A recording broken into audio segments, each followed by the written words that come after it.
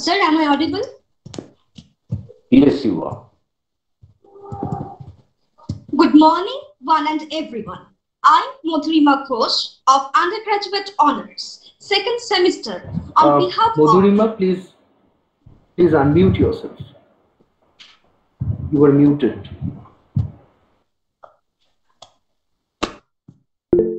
no, sir, I'm not muted. Am I audible? Yes, you are. Uh, you are I not can hear audible. We are I can hear. audio issues. Oh, I can hear uh, Madhurima. Okay, Okay. we may start. Okay, sir. Good morning, one and everyone. I'm Madhurima Ghosh of Undergraduate Honors, second semester. On behalf of the Postgraduate Department of English, Bankura Christian College, welcome you all to the sixth day of its International Web Lecture Series hosted by the Department of English, Bankura Christian College. It is my pleasure to extend a convivial welcome to the dignitaries, faculty members, research scholars, students, and one and everyone who are present on the virtual platforms, either through Google Meet Forum or over YouTube. We are honored to have among us today two eminent speakers, Dr. Shishir Kumar Chatterjee, Associate Professor, Postgraduate Department of English, Hooghly Mohsin College, and Professor Nandini Bhattacharya, Professor, Department of English and Culture Studies, University of Burdwan. We are delighted to offer them the most hospitable welcome notes. Before I request Dr. Shishir Kumar Chatterjee sir to go ahead with his deliberation in the first session, may I request Dr. Narugopal Mukherjee, Reader, Department of English, Bankura Christian College, to formally introduce Chatterjee sir. Over to you, Mukherjee sir. Thank you, Madhurima. Thank you so much for giving me the opportunity of introducing my elder brother, Shishikda, Dr. Shishir Kumar Chatterjee. It's really a privilege on my part to introduce him to the audience, even though Dr. Shishir Kumar Chatterjee, as such, does not need any introduction, at least uh, in this part of West Bengal. Dr. Shishir Kumar Chatterjee currently works as an associate professor, as Madhurima said, in the postgraduate department of English at Hooghly Mohsin College. He has been teaching in the government colleges of West Bengal for over three decades. His monograph entitled Philip Larkin Poetry That Builds Bridges in 2016 has earned him international recognition as a major Larkin scholar with significant mention in the Wikipedia. His first novel, The Fire Sermon, was published in 2010. More than 20 of his research papers have been published in books, including those brought out by Orient Black Swan and Cambridge Scholars Publishing House, UK, and in reputed national and international journals. He received an Outstanding Teacher Award Shikhar Ratna from the Government of West Bengal, India in 2017. His edited volume entitled The World of Agha Shahid Ali is going to be published shortly by the State University of New York Press, USA in February 2021. A recipient of the award of the second winner in the Write India Season 3 story writing story writing contest organized by the Times of India group, Dr. Chatterjee's uh, Dr. Chatterjee won the award there, the award of the second winner. Dr. Chatterjee's areas of interest include Indian English fiction and post 1950s British poetry. So I'm honored to introduce Dr. Sri Chatterjee to all of you. Now, over over to Dr. Chatterjee to start his deliberation. Siddha, please. Well, uh, first, uh, Naroop, uh, I'm, I'm really grateful to you for the kind and generous words with which you introduced me. Uh, uh, I, I, don't think I deserve all these good words. Uh, well, I'm, am I clearly audible? Sir, you are. Okay. And am I visible? Although I don't, yes. don't look clearly. Yeah. Clearly, clearly. okay, okay. Uh, I would first like to express my gratitude to the Department of English, Bankura Christian College, for giving me this opportunity to share a virtual platform with many renowned scholars, both in India and abroad, and above all, with some students uh, in many parts of West Bengal. Uh, I usually don't speak for the scholars because I am not competent enough to do that. I always speak whenever I speak, whether in the classrooms or outside the classrooms, uh, for the students. Because the students easily forgive me my lapses. Today also, I will keep chiefly the students in mind while talking on Larkin particularly with reference to the three poems, uh, which are the most popular poems of Larkin, which the students have to read as part of their syllabus. Now, what is ironical is that Larkin hated the idea of being discussed or talked about by scholars and academicians. And yet, uh, uh, well, you can see that I am talking about him and I'm discussing, I'm out to discuss him. Uh, in fact, Larkin has been most talked about and discussed among the post Second World War British poets by scholars and critics around the world. And the reason, evidently, is his immense popularity. In fact, he was uh, the most popular poet in England, uh, perhaps, uh, in, in the 20, 20th century after T.S. Eliot. Uh, let me begin with an interesting fact. You know, 1922 is a very important year in the history of English literature because you all know uh, that uh, it may be said to have officially marked the beginning of modernism with the publication of uh, three important works. One is T.S. Eliot's The Wasteland, uh, the second one is uh, James Joyce's Ulysses, and the third one is uh, Virginia Woolf's uh, Jacob's Room. Now, interestingly, it is also the year in which Philip Larkin was born, as if as a part of a design in the history of English literature. Let me try to explain it briefly. Uh, you know, Larkin I would here uh, uh, like to take you back to the title that I have chosen for my talk today. It is Philip Larkin, uh, the demotic poet of religion, death, and ordinary life.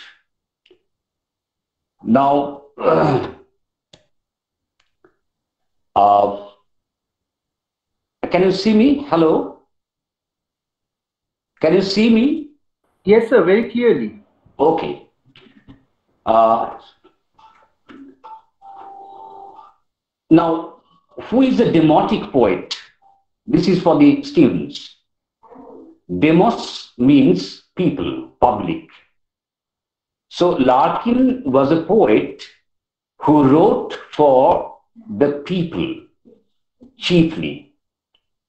Uh, he wanted that his poetry become accessible to the public, to the general public, and that they derive pleasure out of this. In fact, Larkin had an essay uh, called The Pleasure Principle.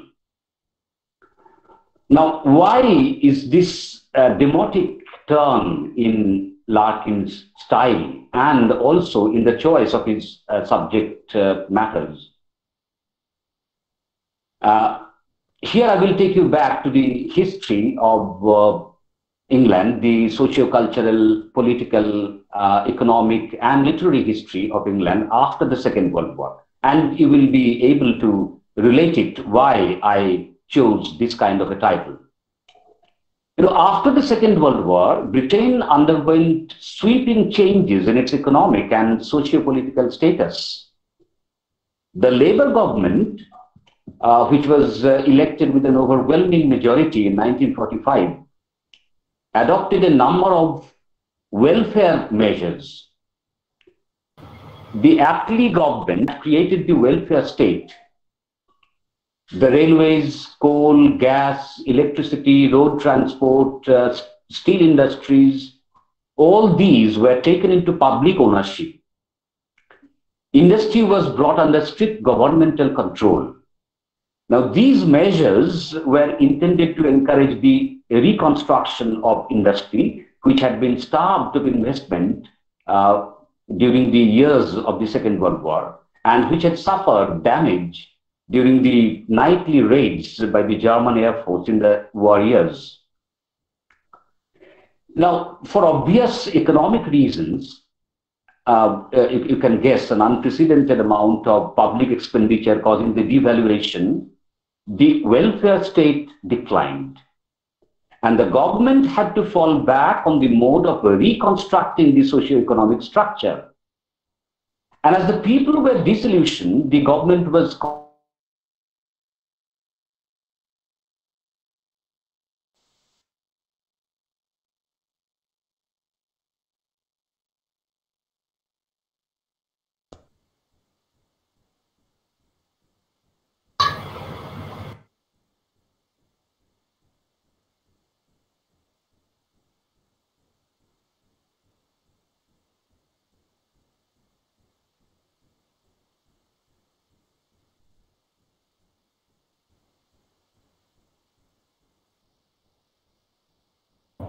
Uh, Dr. Chatterjee?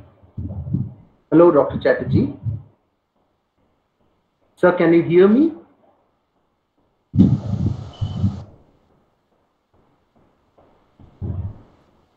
Shishida, are you there? Uh, I'll give you. I'll give him a call, sir, and get this fixed. Okay. There must be some. Uh, Yes, yes, some network issues. Some network issues. yeah, he has come back. He has come back. Okay, that's wonderful. Shishida, has, have you come back? Shishida, Dr. Sisi Chatterjee? Yes, Dr. Chatterjee, have you come back? Is he in the participants list? Yeah, he has just, I think he has just joined. Rejoined rather.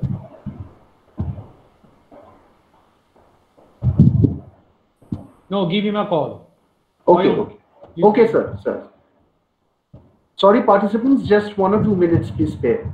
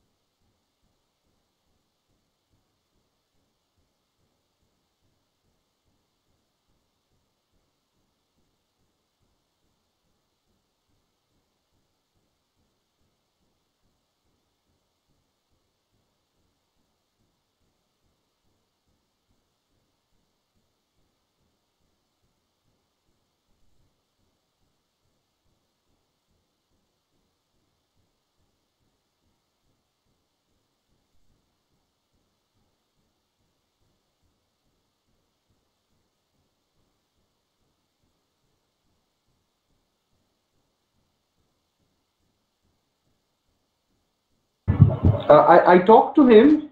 He's joining, sir.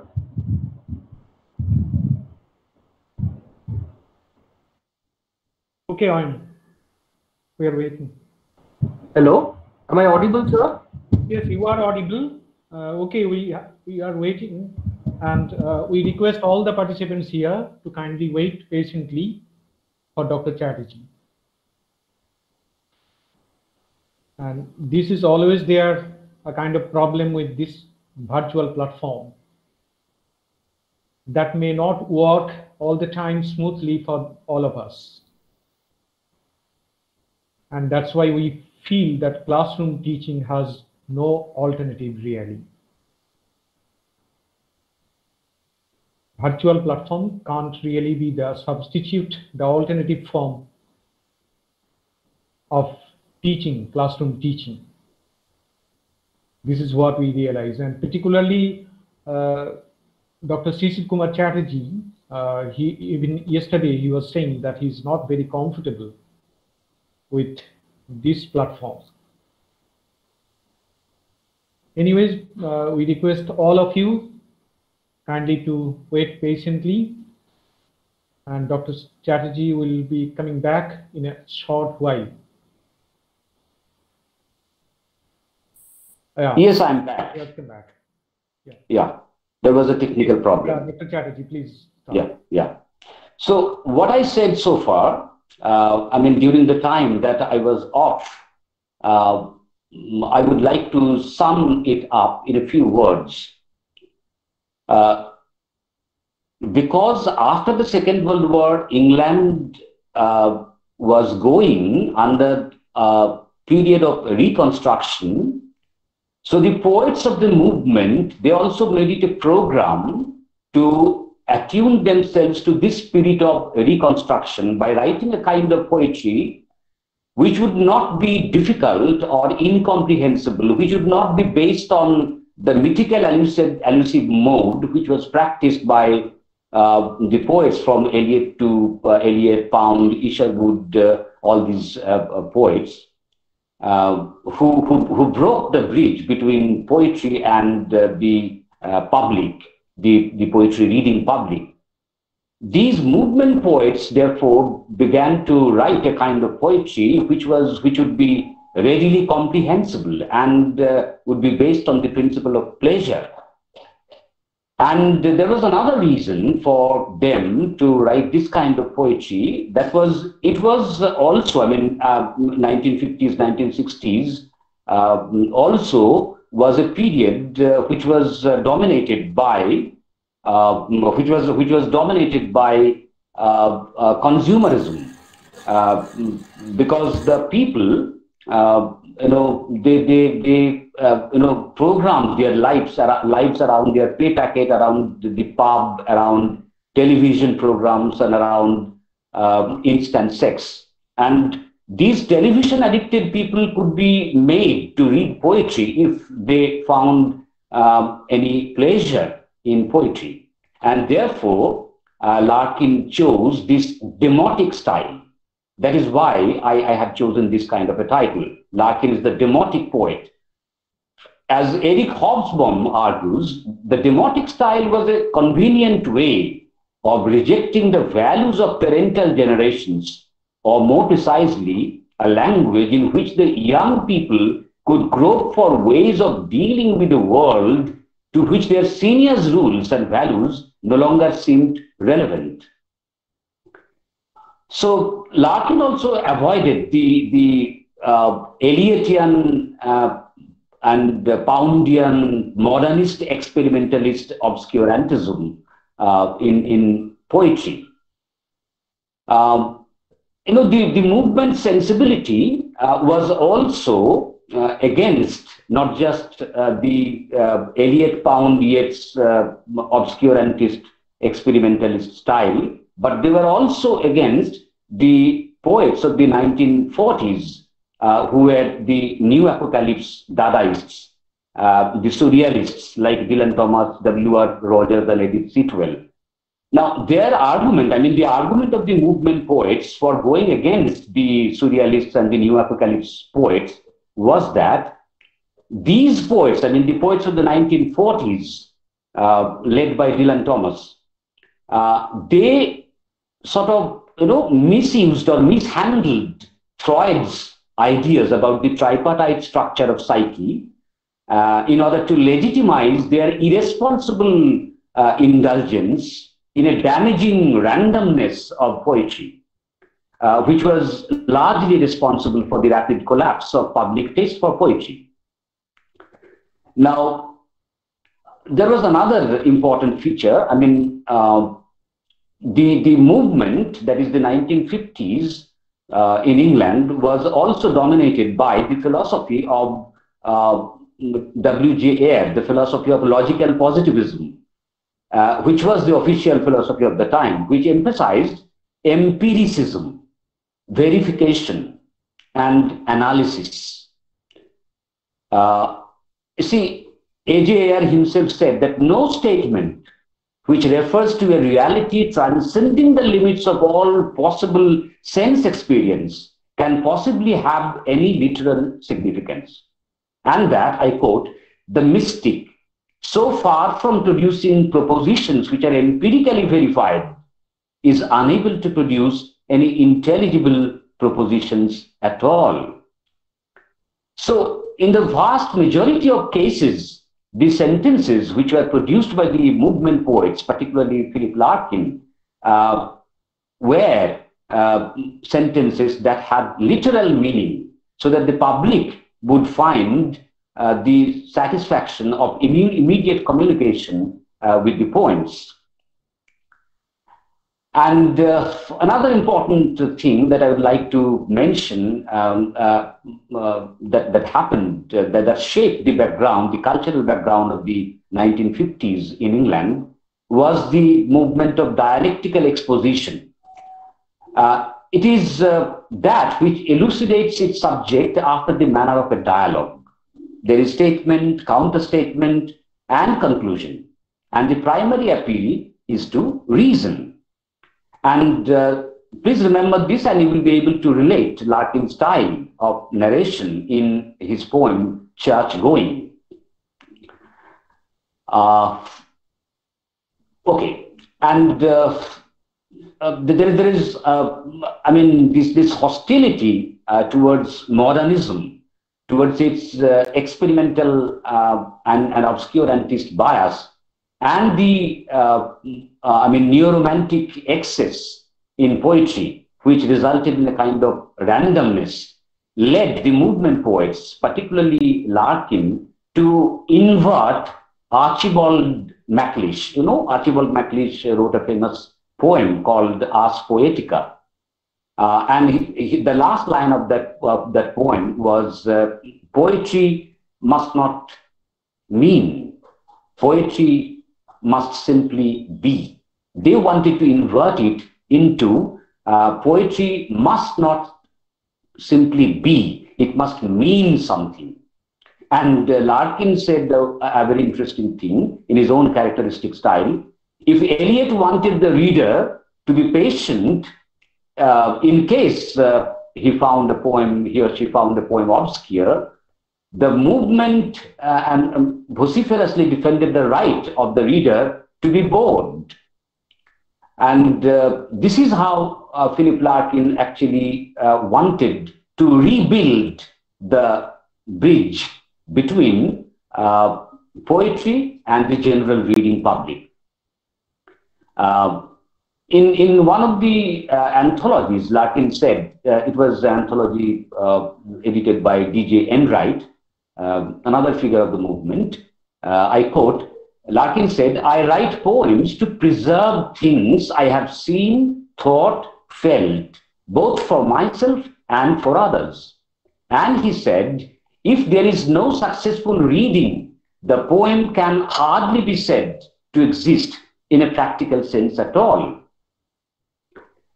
In fact, Larkin also claimed uh, that uh, if poetry has lost its pleasure seeking audience, it has lost the only audience worth having. Uh, for the movement poets, the sense of an audience was uh, very important. Now, it is a different story that the movement poets themselves were divided into two groups. Um, uh, regarding the quality of the audience, for example, there were the, the, the, I mean, there were some poets who were the followers of uh, F.R. Leavis, who insisted, like Wen, that uh, uh, those who would like to enjoy poetry must first be born with the right kind of brain and later trained in the right way.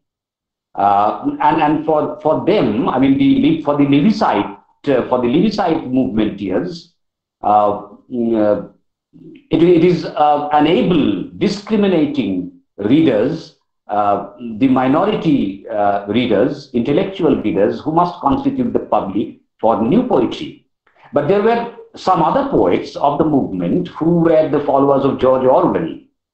And they, I mean, uh, you know, Orwell, actually, Orwell himself, he wanted to redeem uh, uh, poetry uh, from the clutches of the modernists, and uh, he wanted the common man uh, to become more and more, you know, pro poetry, and um, and and and they there was no harm if they were if they sounded arrogant and unintelligible uh, uh, while expressing their opinions about uh, the kind of poetry which was practiced by the modernists.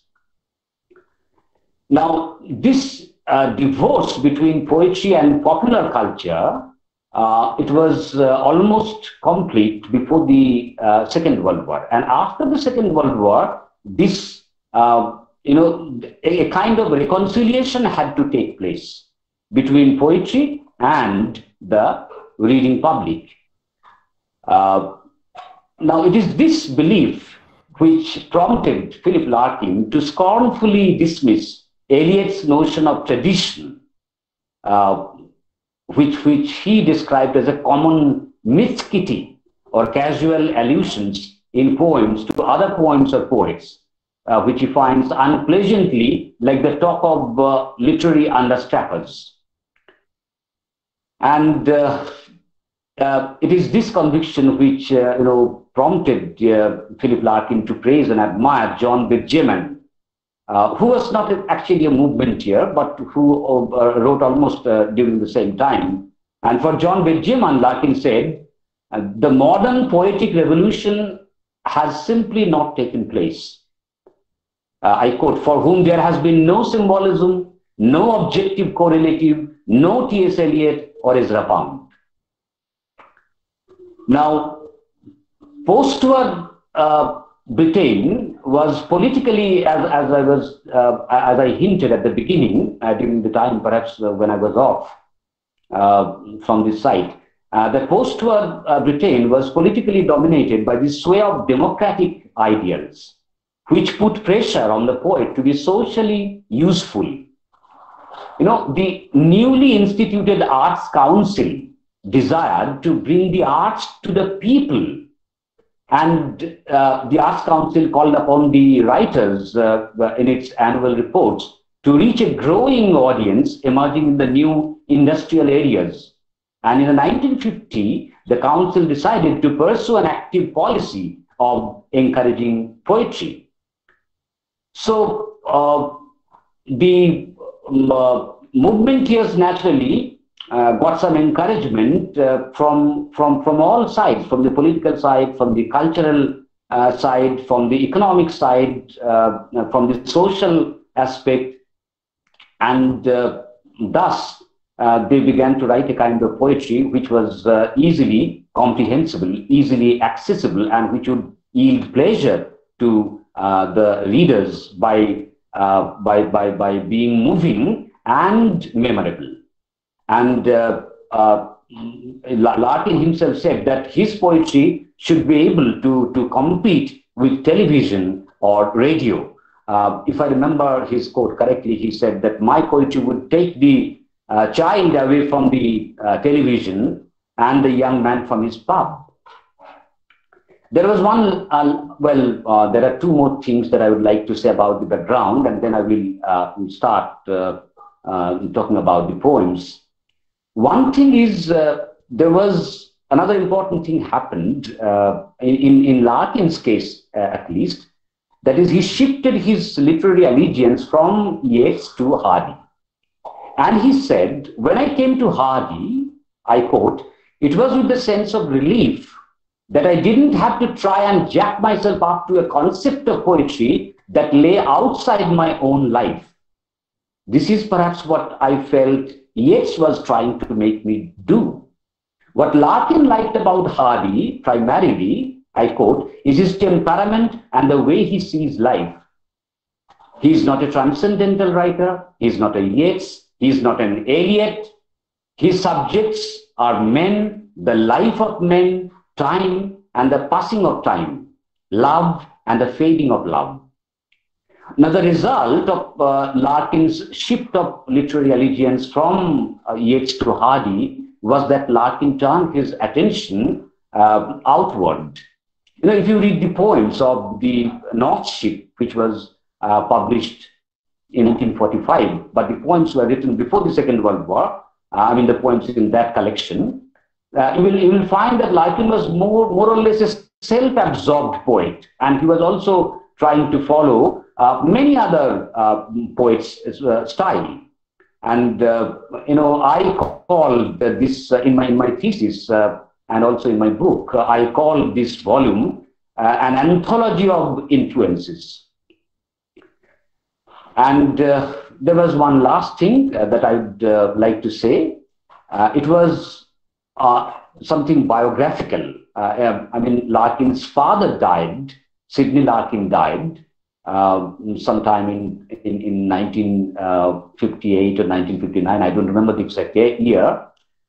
Now, Sidney Larkin was not just Larkin's father. I mean, they had a wonderful literary relationship. It is not that Larkin's father himself wrote, but Larkin's father was perhaps the first reader of whatever Larkin used to write. And he was the constant audience for his poetry. But when his father died, you know, he was uh, pushed to uh, a state of uh, nadir of uh, depression. And he was uh, sharply reminded not, not just of his own mortality, but of mortality as an ineluctable truth of life. And his vision became bleak, and he wrote pervasively about uh, death. And you will be able to relate this when you come to ambulances, and there are innumerable other poems in, in Larkin's four major collections of poetry which deal with the theme of death. Okay, now let us try to relate the words that I said so far to the uh, individual poems. And uh, let me assure you that I'm not going to take up many poems. I will take up only three poems church going first, then ambulances, the death poem, and finally, uh, the Whitsun Weddings, the poem uh, that celebrates the ordinary life.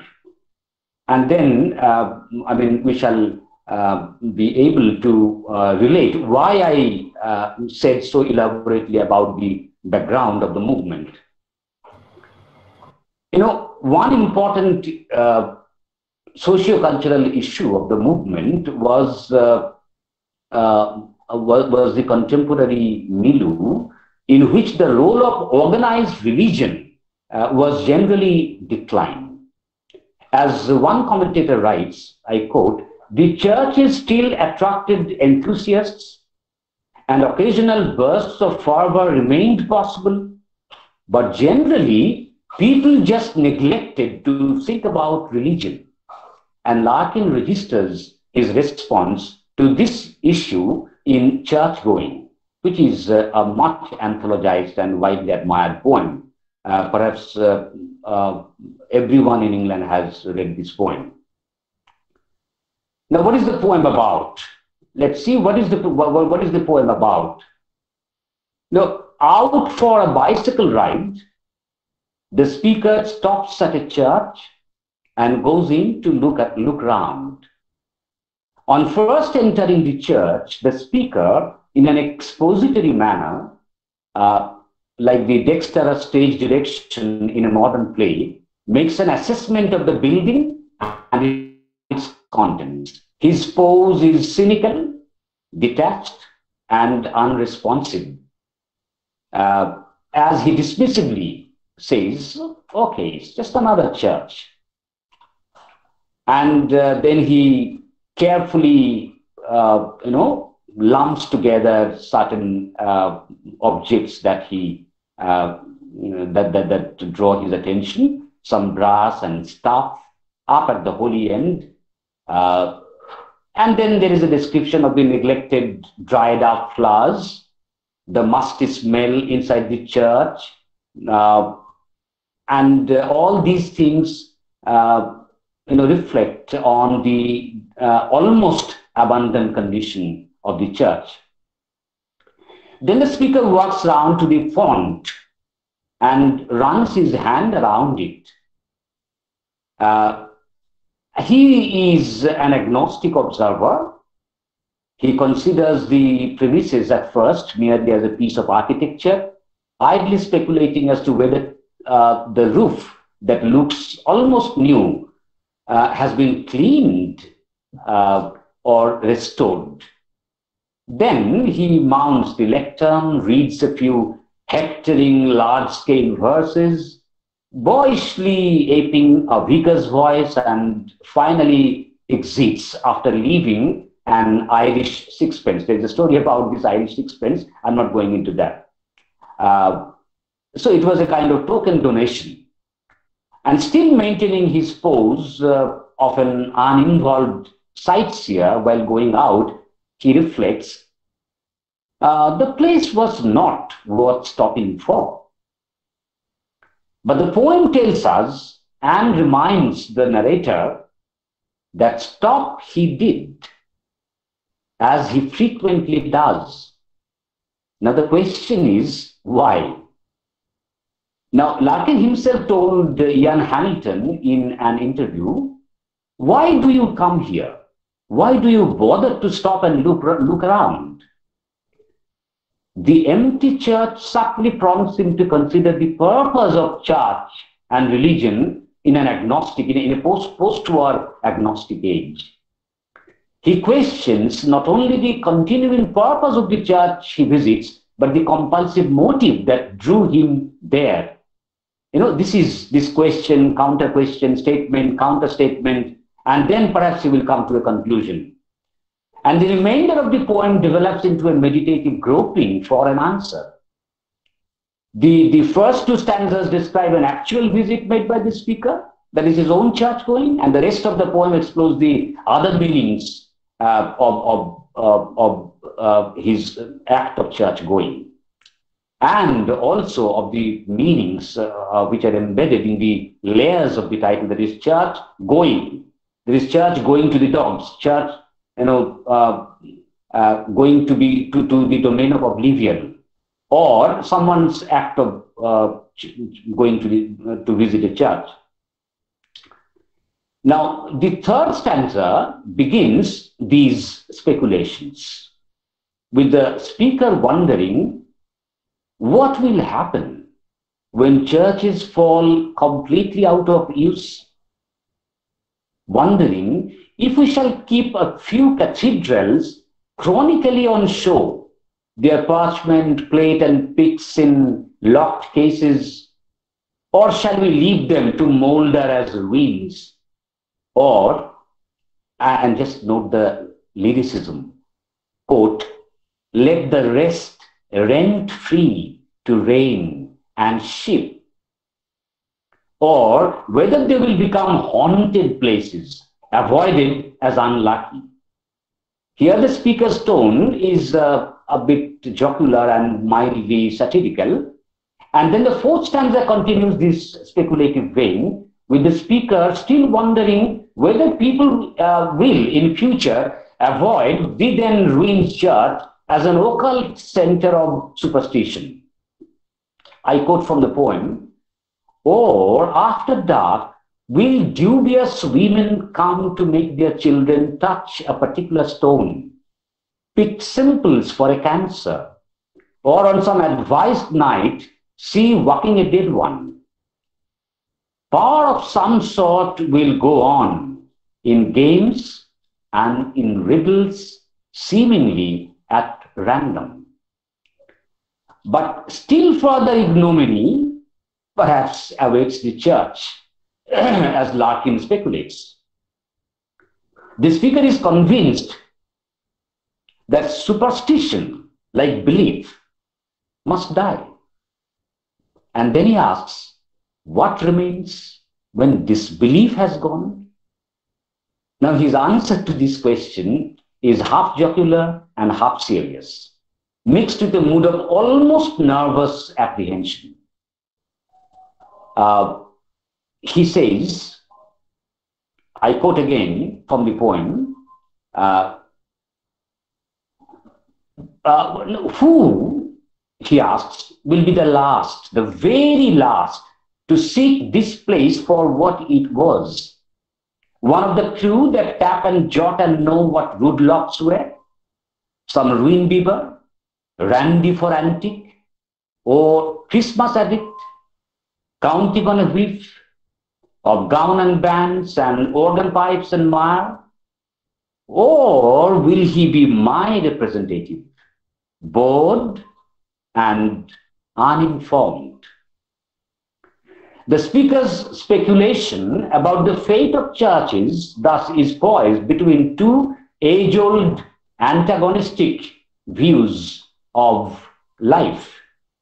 The scientific view, in which the real is reduced to the lowest terms of objective fact, and the ideal or transcendental or supernatural view, which prompts us to look beyond the logocentric plane. Now, the future is scientifically oriented, and therefore, there is every possibility that it would look upon churches merely as curiosities, only preserving some of uh, its relics in a museum. Uh, and the speaker assumes that uh, religion is in decline, and that we shall very soon see the last churchgoer to seek out the church for its original purpose. Now, here we come to the very interesting and the last section of the poem. The last two stanzas of the poem, in which we, we see the poet's contemptuous and ironic attitude toward the church being replaced uh, by his serious questioning uh, will lead us to uh, a clue to an answer uh, to this question as to uh, the church uh, will still retain its original purpose. And what will be the original purpose of the church?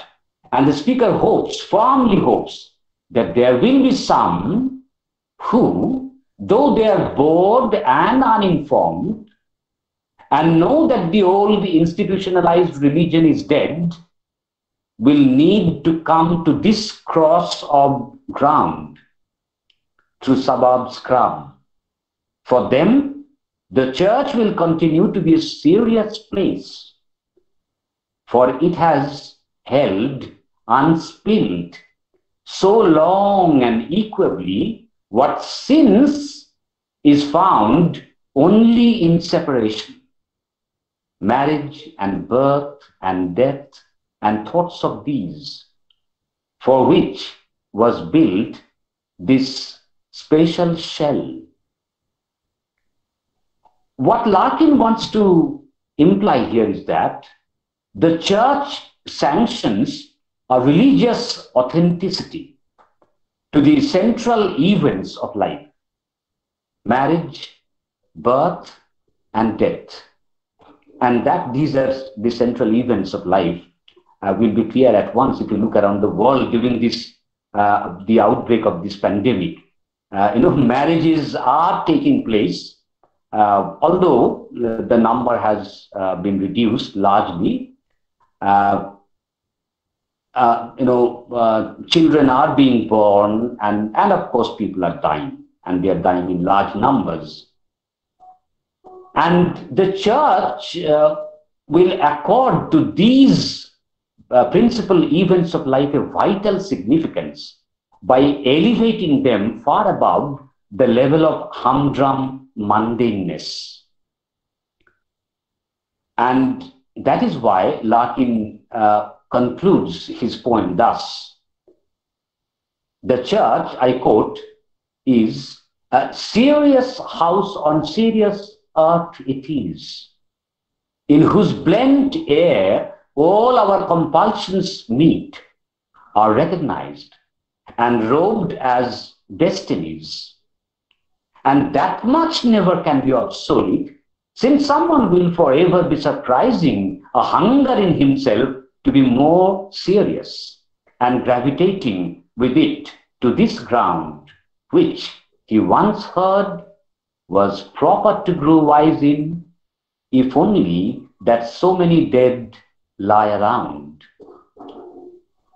So, what Larkin uh, concludes the poem by saying is that you know, uh, whatever happens, however scientifically oriented human life becomes in future, and uh, however steadily does the place of organized religion decline in the future society, the church will still retain its importance because human life will always need uh, to to uh, to find the seriousness of purpose in whatever uh, mm, it, it does, it indulges in.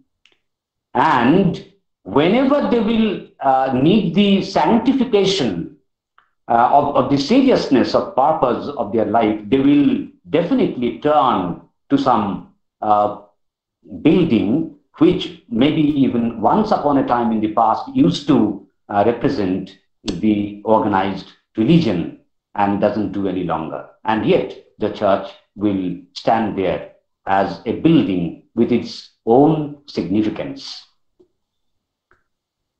Now, uh, if you have any questions, uh, we, we, we, we shall be there definitely to address those questions, to try and address those questions uh, at the end of my session. But now, for the time being, let us pass on to the next poem, uh, that is Ambulances.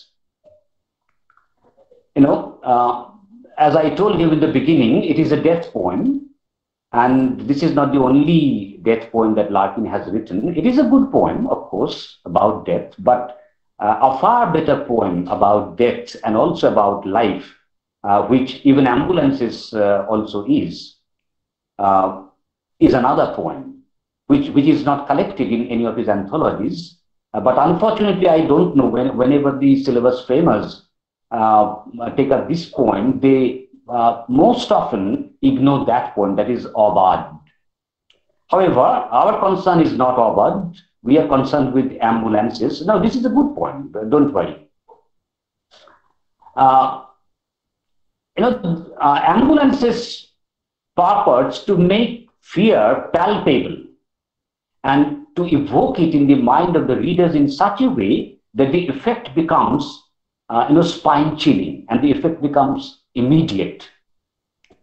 You just look at the very title, ambulances. Uh, whenever, uh, just imagine yourself uh, riding a motorcycle or driving a car and uh, an ambulance honking behind you. And what is the feeling uh, that, that, that is evoked in your mind? And the same feeling is evoked in the title. It is menacing, it is disturbing, the very picture of ambulances, you know, uh, has a disconcerting effect on us because they are inevitably associated with disease, illness, accident, uh, and death. Now, these are the evils that beset human life on earth. The poem begins by, uh, by presenting realistic and, and, and, and I should say military imagery of ambulances uh, right at the outset, the ambulances are shown to be impersonal and frightening reminders of, uh, of uh, an unpredictable fate of some individual or of some families uh, to whom that individual belongs. Now, these are the vehicles of death, and they thread their way through the streets of a city at noon. When the city itself, now here life is, you know, uh, woven into uh, the picture of death. The city itself is buzzing with uh, the pictures of life, with the noises of traffic and with the crowds of people. Uh, you know, some some women are coming back from shopping with two bags uh, uh, hanging from their two hands, and as they are coming back home, they are smelling uh, the smells which are coming from the kitchens of different houses, and the children are playing on the streets, and uh, in the midst of all these things, the ambulance is uh, it, it, it looks like a confessional because it is closed like a confessional uh, in a church. Now, onlookers uh, find themselves, whenever they look at the, uh, the ambulance, they find themselves randomly and suddenly caught up in someone else's tragedy.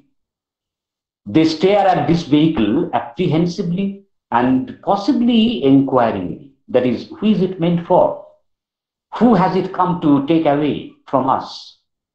As the ambulance darts through the streets, but cannot make out who of their neighbors it is meant for. Because the machine driven conveyance cannot give back any answering glance to the spectators. The, the color of this vehicle is equally fearful and eerie. It is gray.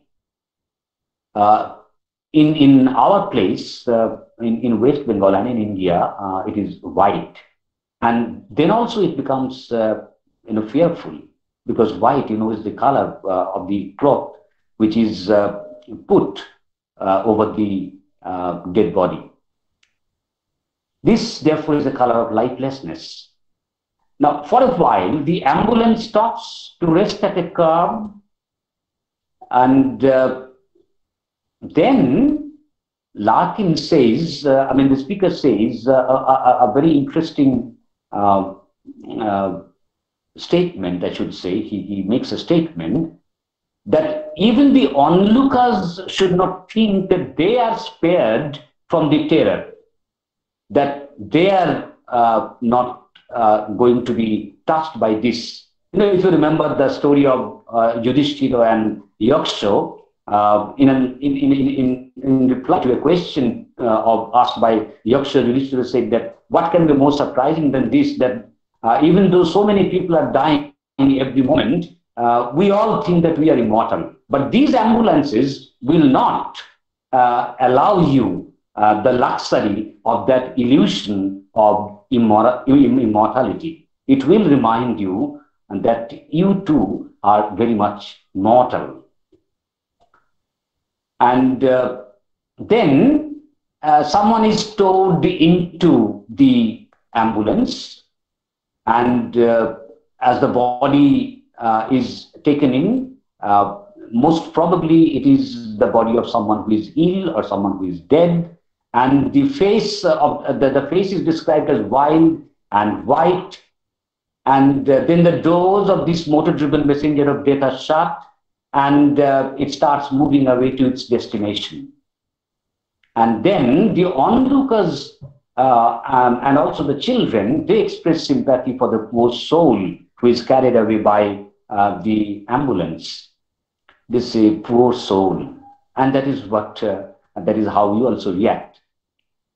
And they perceive a kind of pity underlying their lives too. That after all, uh, the lives of all of us uh, are merely, I quote, uh, it, it is only a unique random blend of families and fashions. And we know uh, its ultimate end. And uh, so the ambulance drives off in dead end air. And uh, this unique blend uh, finally begins to come asunder. Uh, we, we, we know that uh, if he's dead, then, then nothing uh, of the pattern, the intricate pattern that Larkin says in Aubade of life can uh, bring this man back to life.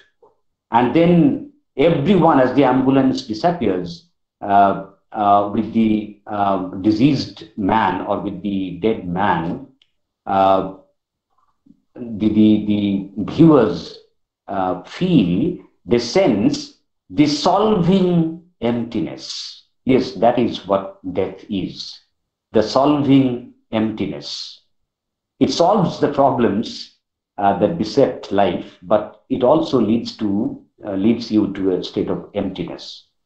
The solving emptiness that lies just under all we do, and for a second, get it whole, so permanent and blank and true. And all we are reminded of by the ambulance is the endless extinction. And uh, this thought of endless extinction keeps on flowing in our minds amidst everything that we indulge in in life, perhaps in order to uh, avoid that thought of the inevitable. Okay, now uh, uh, it's 1225. Uh, uh, in, uh, just, uh, I mean, a very, a very brief uh, summing up of the Whitsun Weddings.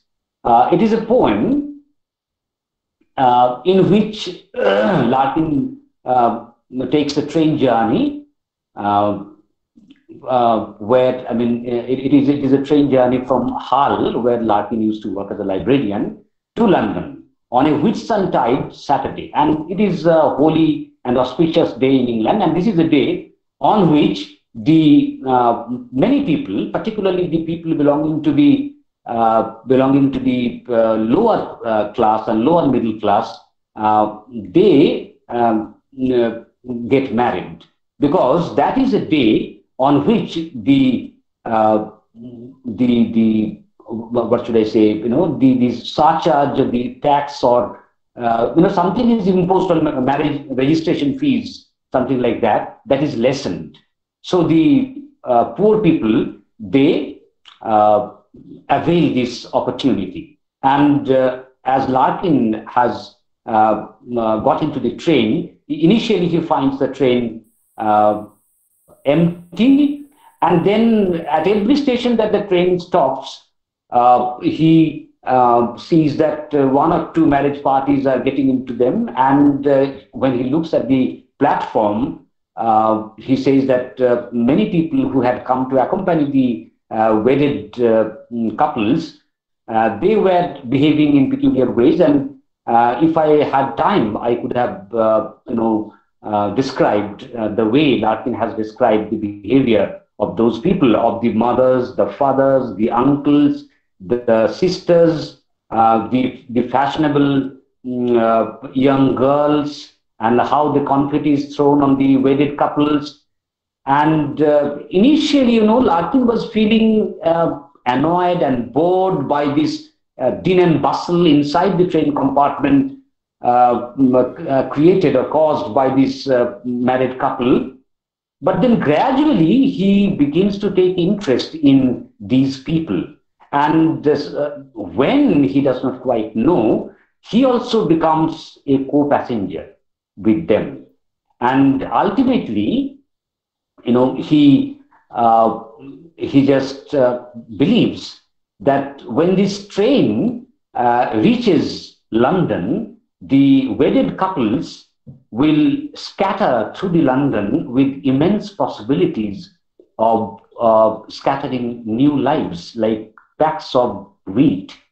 And uh, uh, so here, uh, and the, the, the, last part of the poem here, this is, there is a very interesting image in the last part, which is an image of regeneration, uh, uh, where you have, you have rains. And rain, you know, rain means water, and water is not only a symbol of purification, but it is also uh, something, uh, an elemental presence, which is used in all our rituals, and uh, and and uh, water is, is is something which is also associated with uh, rebirth, with, with, with baptism, with rebirth, and all these things. Okay, and uh, Larkin was very serious about the last two lines of the poem, where he uses the image of the rain falling like a shooting arrow shower because uh, he attached, he wanted to attach uh, very uh, serious importance to this image as it would uh, sum up his positive vision of life uh, and, and particularly this positive vision which is derived from uh, his observing the, the humdrum lives of the ordinary people, of the common people and that is why, you know, there is a book on Larkin. Larkin has been described in that book. It is most probably written by Lolette Kuby. It is uh, Philip Larkin, uh, an extraordinary poet for the ordinary men. I'm sorry, it's, it's, it's a, an uncommon poet for the common men. Okay, so this was, it is 12.30 Oyan, and I think I should uh, stop now. Now, if you have any, uh, any question, uh, mm, any question from the audience? I would like to take it up. Thank you, sir, for facilitating such a positive learning environment by your amazing lecture. Now, may I request Professor Oyan Mundal, sir, Assistant Professor and Head, Department of English, Bankura Christian College, to conduct the interactive session. Over to you, Mundal, sir. Uh, thank you, Madhurima, for giving me that opportunity. Uh, I cannot thank uh, Dr. Chatterjee enough for that uh, extremely lucid, comprehensive, uh, student-friendly yet scholarly lecture. Thank you so much. Uh, it's time for interaction. I already have some questions posted in the chat box. I'm reading them to you, so one, one by one. Uh, okay. The first question comes from Shubrato Moody. He, he asks, Church is a symbol of man's sincere search for the ultimate meaning of life does Larkin want to establish this idea through his poem Church Going? Over to you, sir. Okay. Uh, the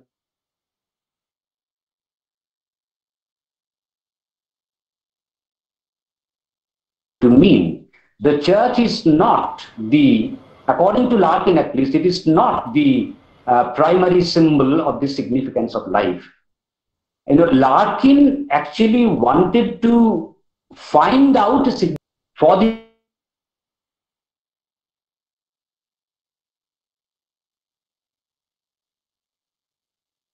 the uh, several stuff that he found inside. But then in, he, as a poet, wanted to probe deeper intellectually into the question of human existence. Human existence in relation to the church building. The church will no longer be existing in the future world as, as a symbol of institutionalized religion. But the, the inevitable urge for seriousness, the hunger for seriousness in man uh, to, to endow uh, his own existence with a kind of seriousness will always be there. And it is here that the role of the church will keep in. Now for the, the next question. Thank you, sir. Uh, you please reframe your question and uh, put it after a while. I'm reading a question by Omrita Botobal. I would like to request Sir to tell something about Larkin's strong affinity to Lawrence and Freud, evident in the poems Annus Mirabilis and This Be the Verse, if Sir can afford that time. Of course, Sir can. Sure, sure, sure. I can, I can afford the time, no problem. Uh, but the problem is, you see, uh, this is not the problem of uh, the persons who have asked this question. This is a general problem, a logocentric problem. Uh, I mean, particularly those who have been uh, uh, who have been sort of brought up in the atmosphere of English literature, studying English literature.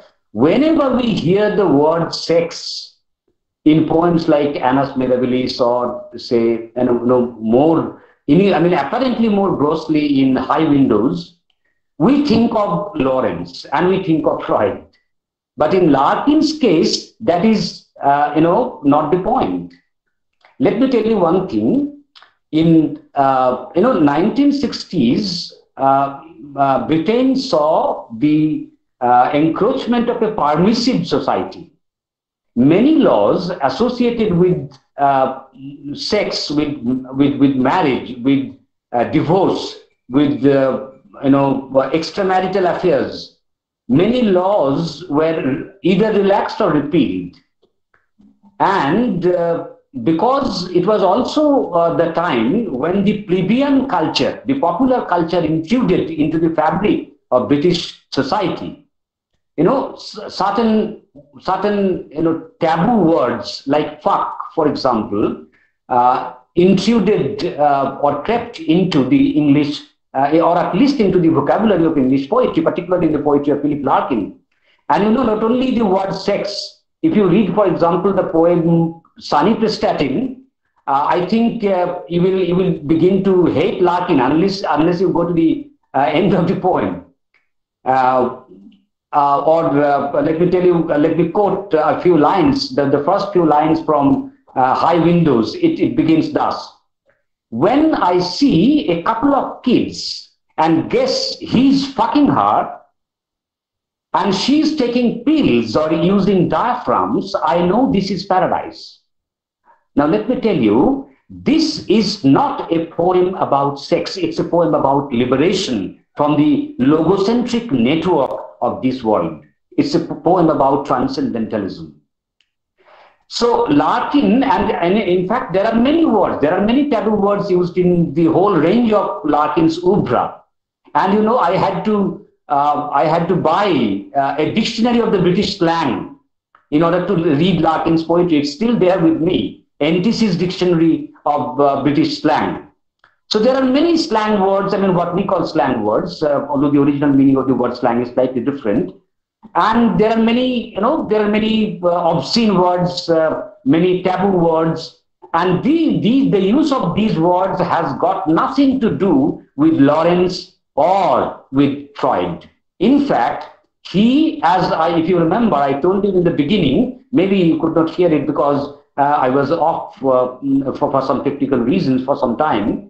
I told you that Larkin was dead against the surrealist and the apocalypse because they misused Freud's discovery of the tripartite structure of the human psyche by indulging in a damaging randomness of poetry which was responsible for the breaking down of the bridge between poetry and reading public.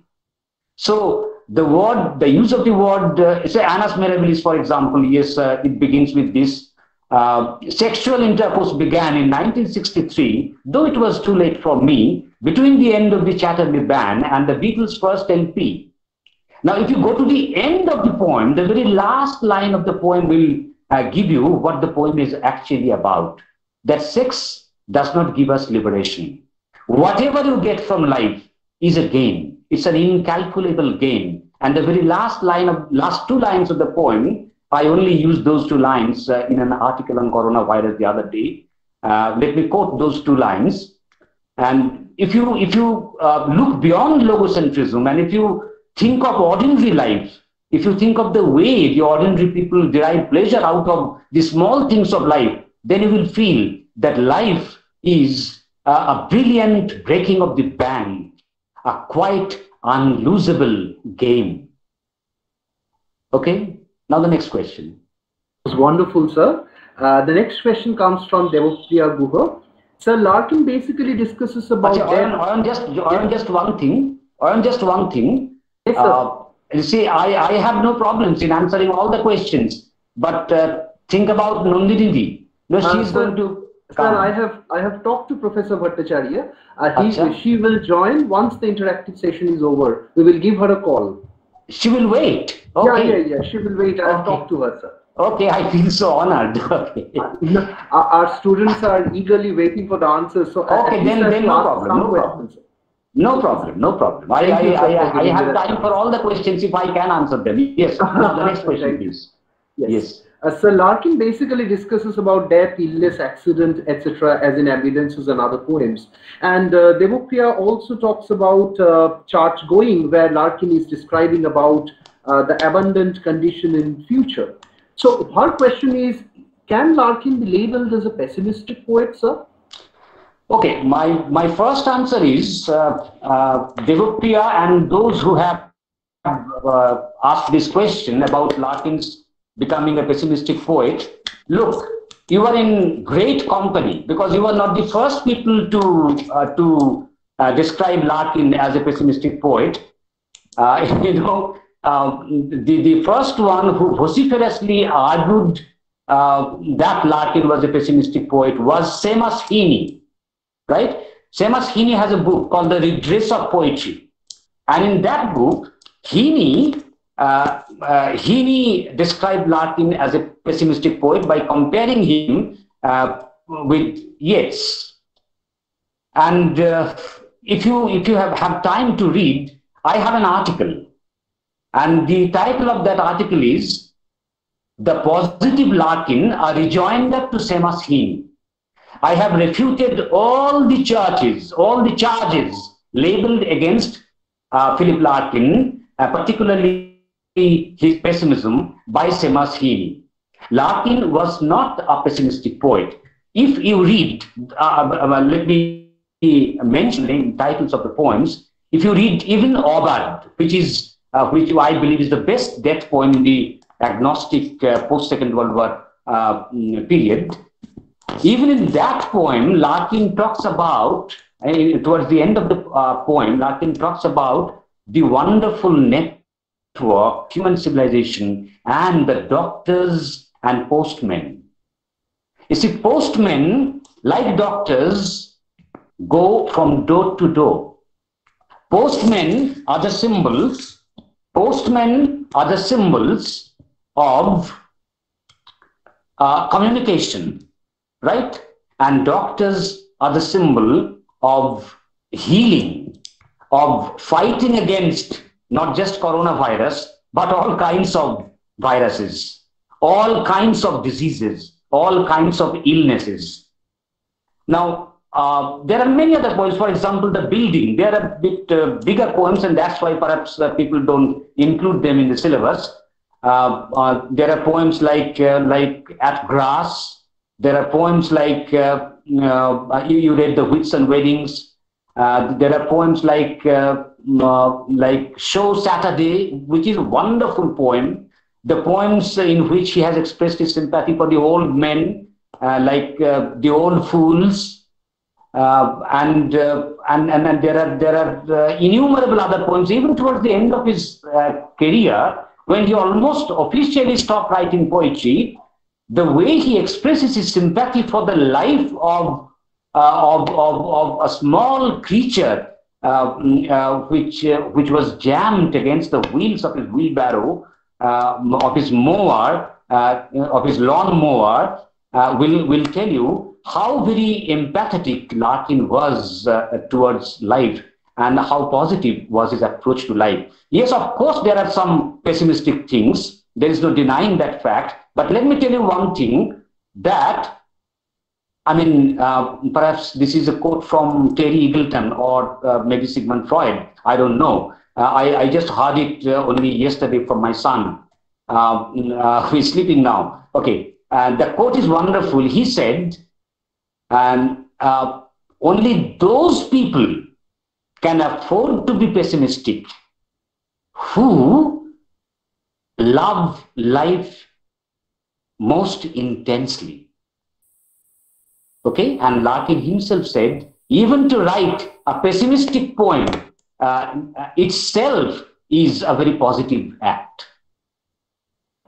Thank you, sir. Uh, I think that answered a good number of questions already in the chat. Box. Yeah, yeah. So I'm not I'm not reading those questions. Okay. I, I will take uh, if you can take sir two more questions. One of is course, from of course, no problem. One is from Dr. Suranjana Bhadro, your student, uh, and oh, also sure. she asks okay. in Larkin's poem we find him as a detached observer, yes. but he is very much present in all these activities. Why mm -hmm. does he maintain such physical alienation? That's the question, sir. Okay, okay. Uh, uh, well, Suranjana, let me tell you, I'm sorry, um, uh, uh this physical distancing has got nothing to do with coronavirus, right? And no, no. Uh, the thing is, uh, Suranjana and and all those who are listening, you know, the reason has to be traced to Larkin's biography. Larkin lived a very monastic kind of life. He had, uh, uh, what should I say, a kind of, uh, you know, uh, embarrassment whenever he had to face a large gathering. He had about six, I mean, half a dozen of love affairs, but he could not, uh, you know, turn any of them uh, into fruition. And he said, you know, uh, talking to a woman or having sex with a woman is as difficult as standing for parliament. Right. And uh, uh, even in Hull, where he used to work as a librarian, he used to go there. Uh, he was the first to uh, go uh, to the library, and he was the he used to be the last to leave the library. And all the time, he used to remain confined in his uh, chamber, and he used to keep on reading books. And uh, this uh, kind of a monastic temperament, this kind of an of, of, an introvert personality, a monastic temperament, you know, perhaps initially adopt, uh, you know, led him to adopt a kind of uh, detachment towards his subjects. But then, in almost all the poems, he does, as uh, you have uh, perhaps already suggested in your question, Suranjana, he does uh, integrate himself with the common stream, the common network, the common web of humanity. Okay? Thank you, sir. I think Antaradi, has something to ask. Yes, Sir, thank you. Uh, thank you so much uh, for this illuminating talk, as usual. Uh, uh, uh as you were talking about the background and you mentioned John Betjeman, uh, it's just a curiosity for me to know whether somehow this this railway and the electric railway, perhaps, mm-hmm. had it anything to do with the the thought of this train ride in Whitsun Wedding.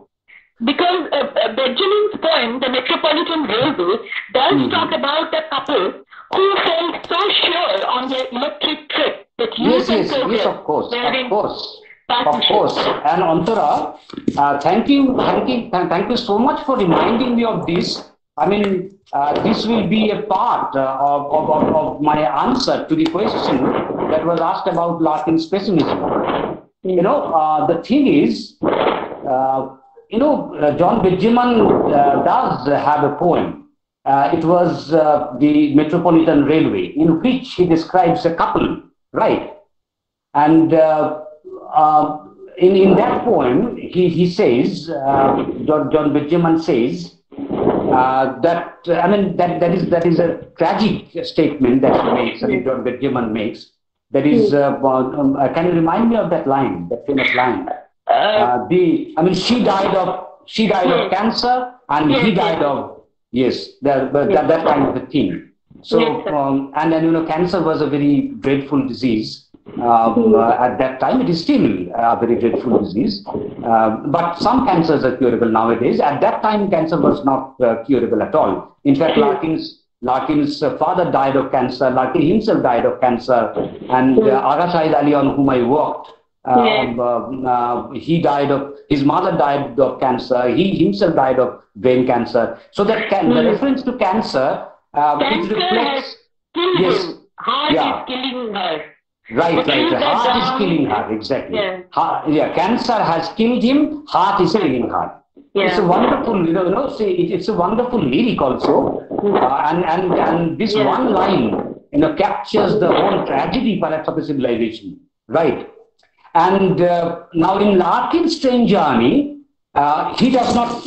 In in Larkin's Strange Journey, in Larkin's Strange Journey, uh, in all the journey poems, there are many poems. Uh, for example, the best poem of uh, of Strange Journey I, I should say is not this one, the Whitsun Weddings, but here, here, which ends with the, the theme that this journey is not simply a journey from Hull to London or from London to Hull, but it is a journey beyond the here.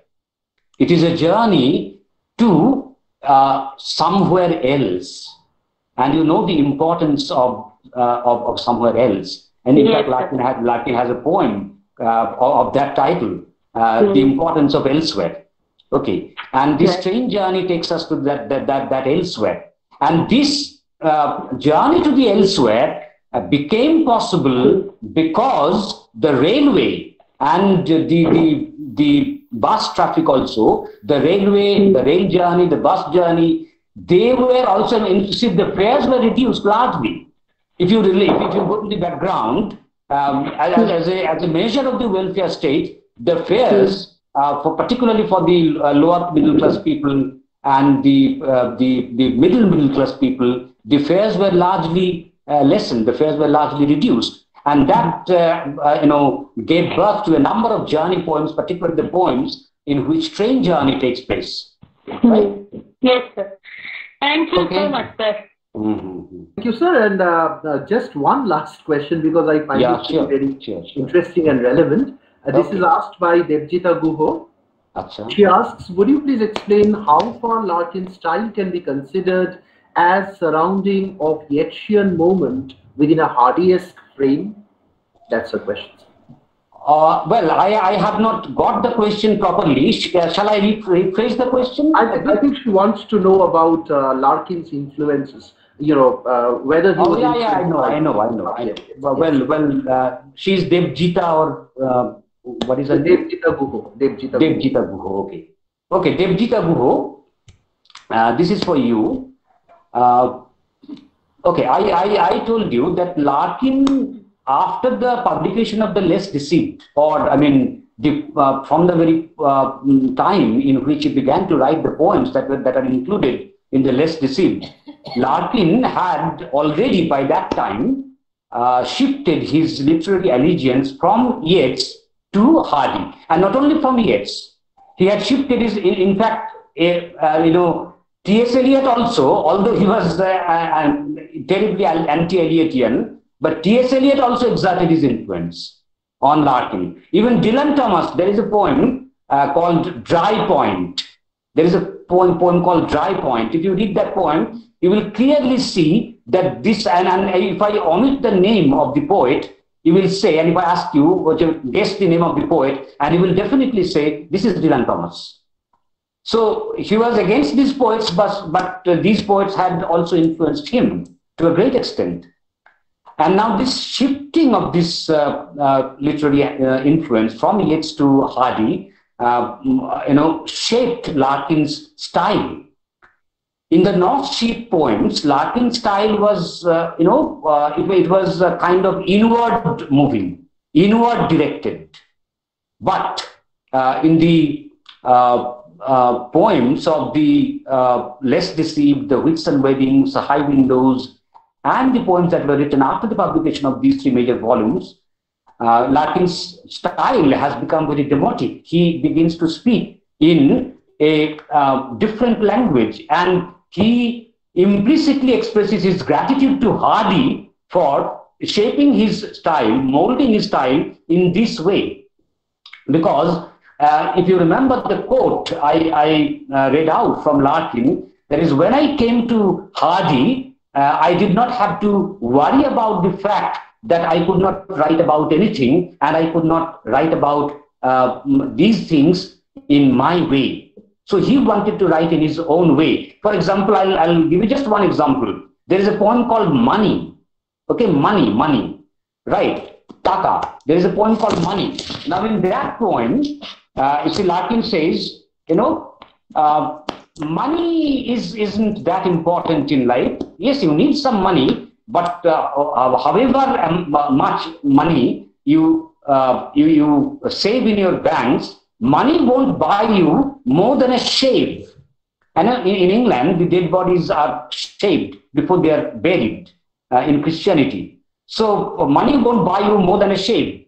And then in the middle of the poem, he says, you know, but what to do? I have to earn money because I have, uh, you know, this is the speaker of the poem is a middle class, uh, maybe a clerk. And the speaker says, uh, but you know, there is, there are Myra's folks. Myra is his wife, the speaker's wife. And Myra's folks, he doesn't say my in-laws. He says Myra's folks. That is Myra and Lokrachi. And then he makes the money sign. He uses this language. Can you see me? He makes the money sign in this way. Makes the money sign. Right. So this money sign is a gesture and he captures it in his language. Right. So uh, Hardy's influence had uh, largely shaped Larkin's style and made it uh, and, and went a long way to make it demotic. Okay, Oyan. Now, any more question? Thank you so much, sir. Over to my colleague, uh, Moshumi Kundu, Faculty, Department of English, Bankura Christian. Okay, may I, Okay. uh, Ayon, Ayon, uh, just Ayun, Yes, sir. may I ask uh, a question to, or, or I think it's time. I know. Uh, Ma'am is here, sir. So, Yes, it's already one. It's already one. It's all right, all right, all right. Now, No problem. I have no problem, but I, I, I can't keep Nandini waiting, you know. Yeah, yeah, it's all I shouldn't actually. Okay, thank you. Thank you. okay, over over to Moshumi, please. Yes, am I audible, sir? Yeah, yeah, of course you are. Thank you, sir, Dr. Chatterjee, for such an insightful, thought-provoking, and engaging lecture.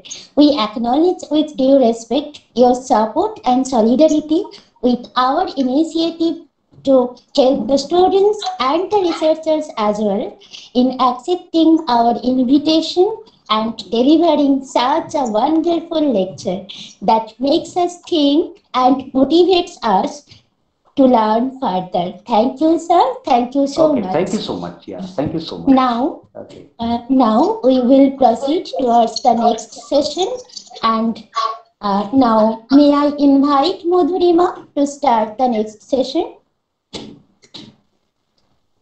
Madhurima? Thank, thank you. Uh, am I audible? You're Yes. audible, Madhurima. Go ahead. Uh, thank you, ma'am. Our second speaker in today's session is Professor Nandini Bhattacharya, professor in the Department of English and Culture Studies, University of Burdwan.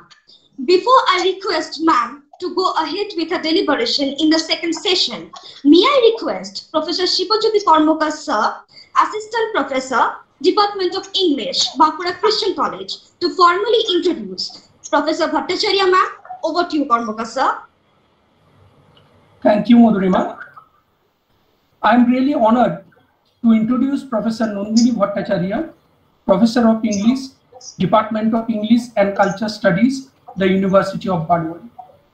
Before joining the University of Burdwan, Professor Bhattacharya served different, different government colleges of West Bengal and University of Hyderabad as an associate professor and later at West Bengal State University, Barasat. Professor Bhattacharya is an accomplished scholar in the areas of feminist theory, uh, post-colonial studies, transnational and feminist discourses. She is widely published both nationally and internationally. She is a persuasive speaker with a gifted ability to present complex themes in clear and easily comprehensible ways. Professor Bhattacharya has exceptional history of leadership, serving as an academic department chair, the director of a large doctoral program, and a founder of many important interdisciplinary working groups. She has been invited as a professor of professor and head of Department of English and Culture Studies and Dean School of Languages, the Central University of Jammu from 2014 to 2016. She has also held the prestigious post of chairperson of SPARS, which is a committee for women rights and sexual harassment. Central University of Jammu, Jammu and Kashmir. Professor Bhattacharya has been a visiting fellow of University of South Florida and State University of New Jersey, USA in 2006. In India, she has been a visiting fellow of the Department of English, Vidyasagar University, Medinipur in 2011, in the Department of English, Delhi University, and in Sambalpur University, Sambalpur, Odisha in 2014. She has authored, co-authored many books and wrote a number of articles in national and international reputed journals. To name a few, R.K. Narayan's The Guide, New Critical Idioms from Worldview Publishers in 2004, A Love Song to Our Mongrel Selves, Problematics of Identity in the Novels of Salman Rushdie in 2005, Mulk Raj Anand's Untouchable in 2006, Narratives of Frailty, Sarath Chandra Chattopadhyay and the Colonial Encounter in 2007, and many more. We are really honored to have such a dignitary as a speaker in our international web lecture series. Today, Professor Bhattacharya will talk on reading houses in Jane Austen's novels, and I am sure that her lecture will provide us with illuminating insights, not only for the students, but also for the research scholars and for all the faculty members. Now, may I request Professor Nandini Bhattacharya, Madam, to go ahead with her deliberation. Ma'am, please. Thank you for a very kind introduction. And uh, I believe that I, I am I'm most beholden to the department and especially to the head uh, and Oyon because they have been in contact with me, but all the members of the department who are making these contact programs possible and who are making students feel less lonely.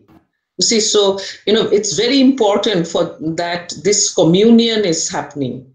This communion between students and teachers who are divided by the coronavirus and divided by contagion, that, that this department of Bankura Christian College has organized these webinars is one way of such a communion that is going to happen between us or is happening between us who are older versions of y'all and our um, students, I mean, who are younger versions of us. So it, it is in this context and in no other uh, great uh, you know, uh, sense of hierarchy that I would like to present my thoughts on Jane Austen's uh, Mansfield Park in particular, but the uh, anthropomorphizing of houses in uh, late 18th, early 19th century literature.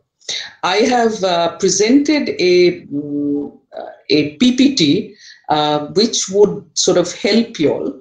But uh, just to state that the, you know, if you have seen a recent movie on Prime called Gulabo Sitabo, then you would have sort of understood or maybe seen an older movie called Garam Hawa, you would have possibly understood the question of anthropomorphizing houses, that is, making houses human. All right, so uh, giving a house certain qualities. Now, in the uh, 18th and in the 19th centuries, great country houses came up and these great country houses were also built around great parks and and and avenues and uh, water bodies. And all this was beautifully curated because uh, it is it is the conjoining of art and nature that was the ideal that would be presented.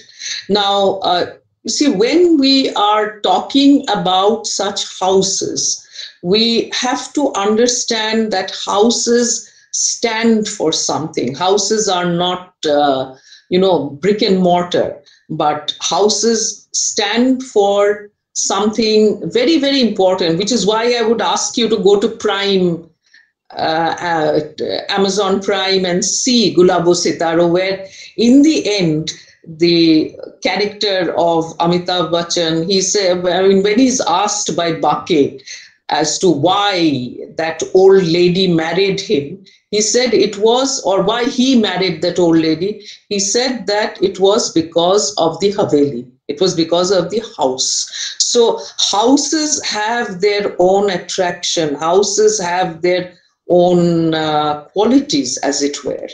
Now, when we are talking about the 18th century, when we are talking about the uh, late 18th, early 19th century, and these great country houses, we must be reminded of the sources of money for the building of these houses. All right. Now, what what were the sources? Now, most of these country houses, if you see my PPT, which Oyon might put it up. Uh, uh, are you there? Obinobo Mondo, yeah, please begin presentation. Yes, yes. madam, if, it is visible. Yes. If you if you see the PPT, then you will find that I have included a uh, a chora, a little sort of, you know, rhymed uh, uh, piece by Jonathan Swift, which talks about this connection between plantations, between slavery and the great houses of the uh, 18th centuries. So uh, that is something I think is very, very important. I mean, the great houses were built on the money that was accrued from the plantations, especially the sugar plantations in the Caribbeans, in places like Barbados, in places like Antigua, and in other islands as well. Now, the brutality of a plantation uh, and the brutality of slavery in these plantations is, you know, contrasted with the order and the beauty of the great houses of the 18th century. Now, I mean, in fact, uh, I mean, it's it's it's something that you will have to pay attention to. That the house is actually produced by the money that was accrued through this cruelty, through the perpetration of uh, this uh, cruelty and this uh, practice of slavery in or deploying of slave labor in these uh, plantations. Now, the deploying of slave labor in plantations, remember, uh, continued even though uh, uh technically there was an abolition of slavery in 1833. Now, usually Mansfield Park is read in conjunction with this declaration of abolition of slavery post uh, Edward Said's reading of Mansfield Park in Culture and Imperialism. However, we will come to that a little later, but simply say that the romantic movement that you read about the talk about nature that you are you know enjoined to write in your exam papers when you are asked about romanticism and nature or uh, the features of romanticism owe a great deal to monies that were coming, monies that were coming from these plantations and colonies. And it is these monies which went on to curate nature. So the natural description of the Wye Valley, W-Y-E, or the descriptions of the ruins of the Tintern Monastery, the Tintern Abbey, these are all you know part of memoirs of people who went on to tour these great houses these great monasteries at a moment of great building you know a surge of monument and house building monastery building. And uh, these monies came from the various plantations and colonies. So you know i'm making a point that uh, I'm making a fairly acute point that when one is talking about or when one is reading about nature in uh, romantic poetry, one ought to look at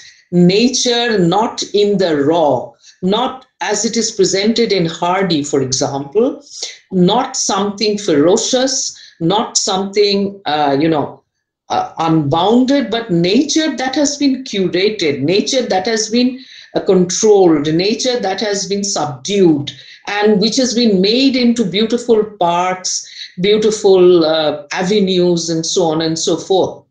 And mostly, this is a kind of nature that accompanies a house. So I think this would enthuse you to go back to your, you know, answer to uh, romanticism and adding nature as a feature of that romantic movement uh, in a little more textured and dense way and understand that this fascination with nature and especially fascination with a garden space is has a certain material basis that means that the nature was, I mean, which Wordsworth is admiring, is not just there, or the nature that Keats is admiring in to one who has long been in city pent is just not there, but has been created through human effort and a lot of landscape uh, makers, you know, and architects whose money comes from these plantations and plantations in which slaves live in terrible conditions. You see, they are packed together like animals in barracks. So you can look at some of the tea plantations in our own country and some of the pictures that are provided, and you will have a fair understanding of the inhuman or the bestial way in which the slaves which produce this money are kept. And it is this money that goes on to produce that beauty, that order of nature that you appreciate in romantic poetry and in romantic novels like Mansfield Park. Now, when one is talking about Mansfield Park, I mean, uh, one has to remember that Jane Austen, uh, this is the only novel of Jane Austen in which which she named, which she named after a place, after a house. I mean, Northanger Abbey was actually named by her brother. It wasn't named by herself because Northanger Abbey was published after Jane Austen's death. Therefore, we have to give a little importance to this act of naming. I mean, why is uh, uh, this uh, named as Mansfield Park? That is important. I mean, the house is the character.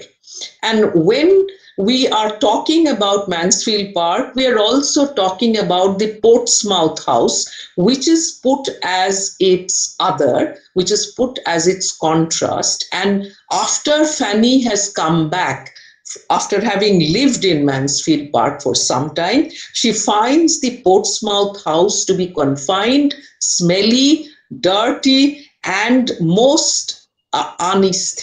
You know, it's almost as if one is comparing the barracks of the slaves to the uh, to the beautiful houses and nature of uh, of 18th century England or early 19th century England. Mansfield Park, I think, was published in 1814.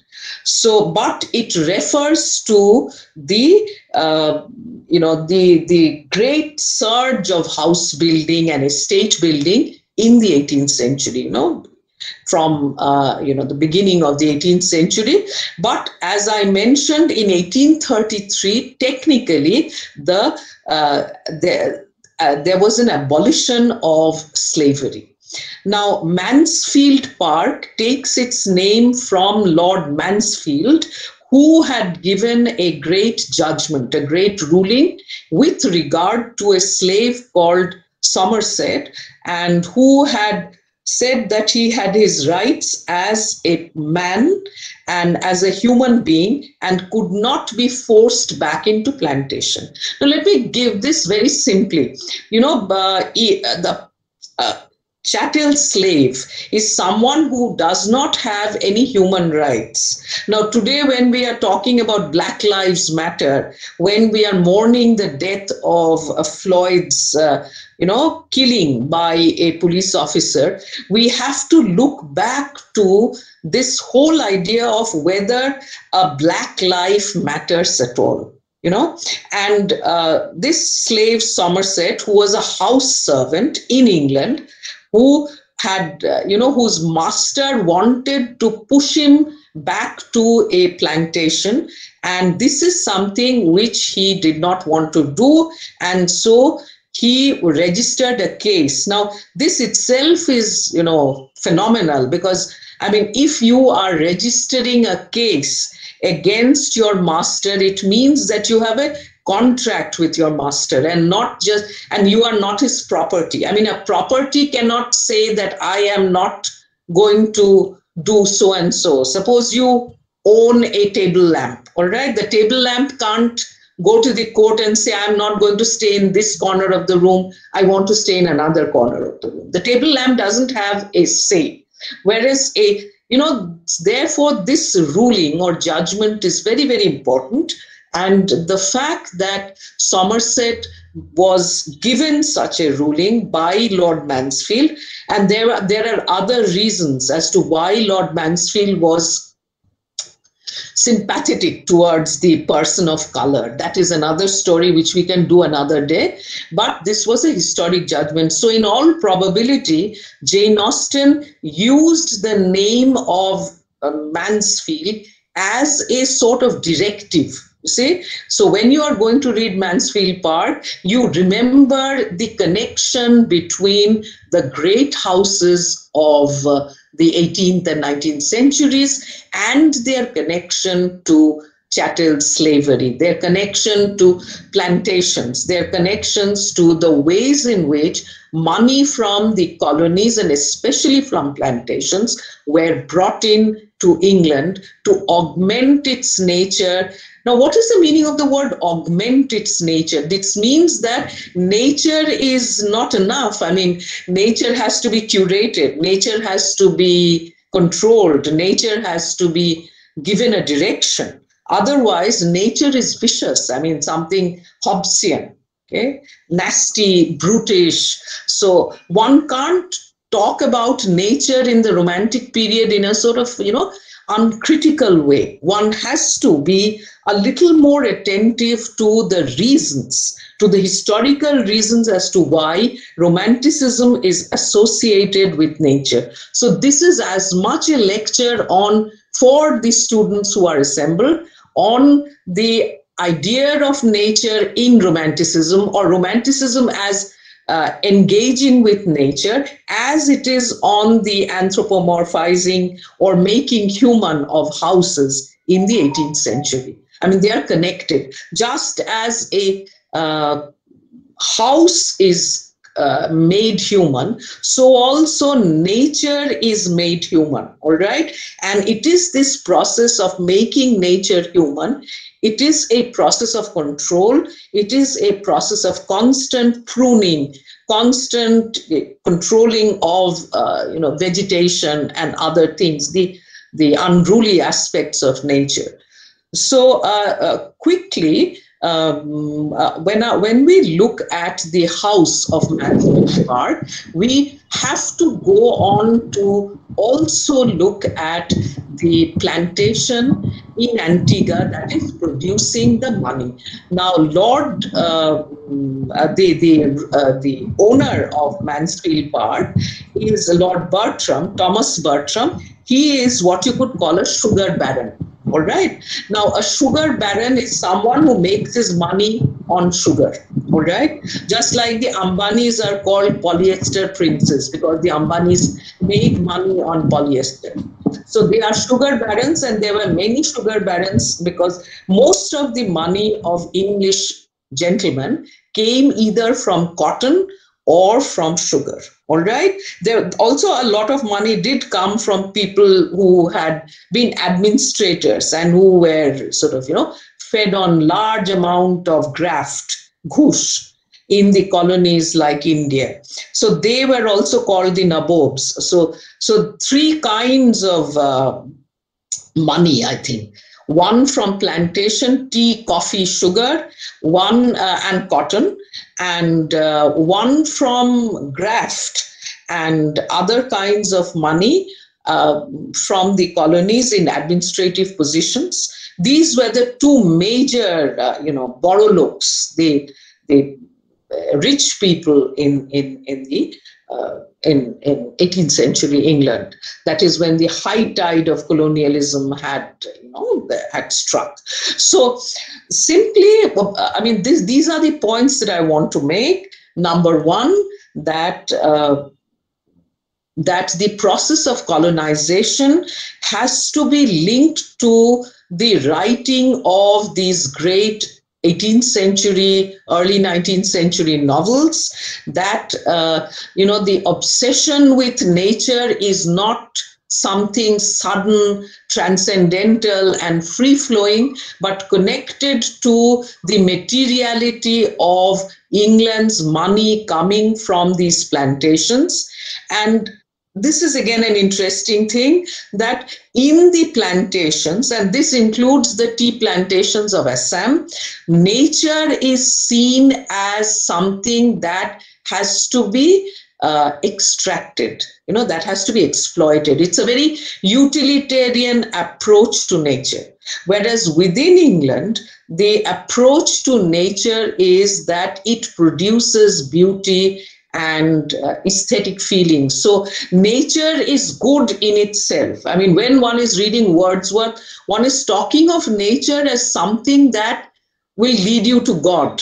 So nature is something that is divine. But within the um, uh, colonies, nature is described as garden and as wasteland.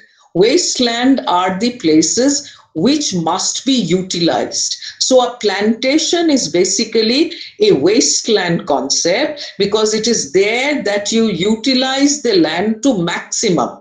Nil chash bolo, um, coffee producing, uh, sugar producing, cotton producing. These are, you know, cash crops. These are high yielding. These have lot of, these require a lot of water and these destroy the land because, you know, you are exploiting the land without giving it even a certain fallow period without allowing it to recover. You are trying to extract the maximum from a piece of land. And also, when you are inhabiting the slaves, you are also pushing them into little rooms within barracks, and you are trying to extract the maximum from their bodies. But when you this money comes into England, then there is a transformative, uh, you know, dimension. So nature becomes beauty, nature becomes divine, and uh, the the the, the uh, houses become also uh, you know they stand for the beauty of human beings. They stand for the dignity of human beings. So what i'm trying to say is that dignity of nature and dignity of the great houses of the 18th 19th centuries are produced by the indignity of the indignity of nature and indignity of human beings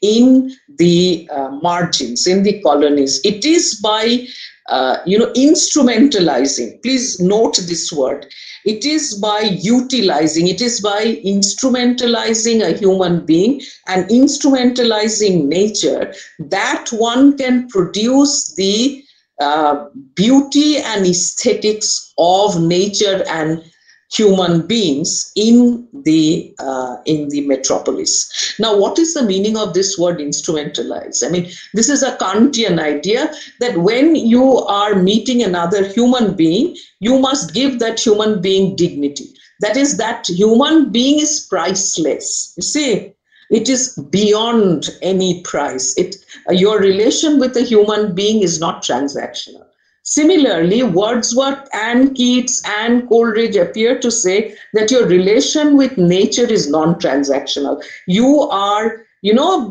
nature is good in itself, all right? And in fact, it can be a passage to divinity, even if you don't believe that nature itself is divine. All right. Whereas in the colonies, nature is seen as something that has to be instrumentalized in other words, it does not have any innate dignity, but is simply like maybe a maybe a pen, I mean, which you use and throw. All right. You don't do that to your friend, do you? I mean, you with your friend, you uh, you are friends for life. I mean, you don't depend on a friend for his or her use. আমার বন্ধু আমার কোন কাজে আসবে that is not বন্ধুত্ব whereas a pen is not as good as you can use it you can throw it away so this is the difference between nature and houses in the romantic period while in the metropolis the house and the nature that surrounds the house or maybe is part of the house is uh, is you know, is dignified in itself. And when one studies romantic poetry or romantic literature, one has to take into account the material basis of such beauty, the fact that such beauty and dignity is produced by the, uh, you know, the uh, utilitarian approach to land and to labor in the colonies. Now, um, uh, I think I don't have too much time left, is it? Ayan? Madam, go ahead. No problem Okay. with time. Okay, so uh, you know, with uh, the uh, with uh, Mansfield Park, let me sort of quickly go over Mansfield Park. In Mansfield Park, there are two houses. In fact, there are three houses. All right, the houses from which the Crawfords come.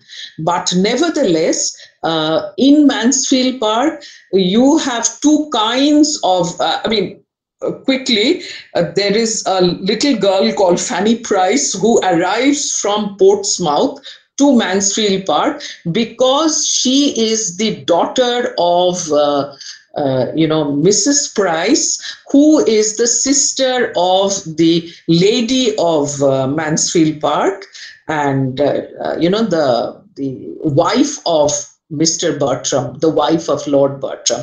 So basically, Fanny is, I mean, Mrs. Bertram or Lady Bertram is Fanny's aunt. She is sister to Mrs. Price.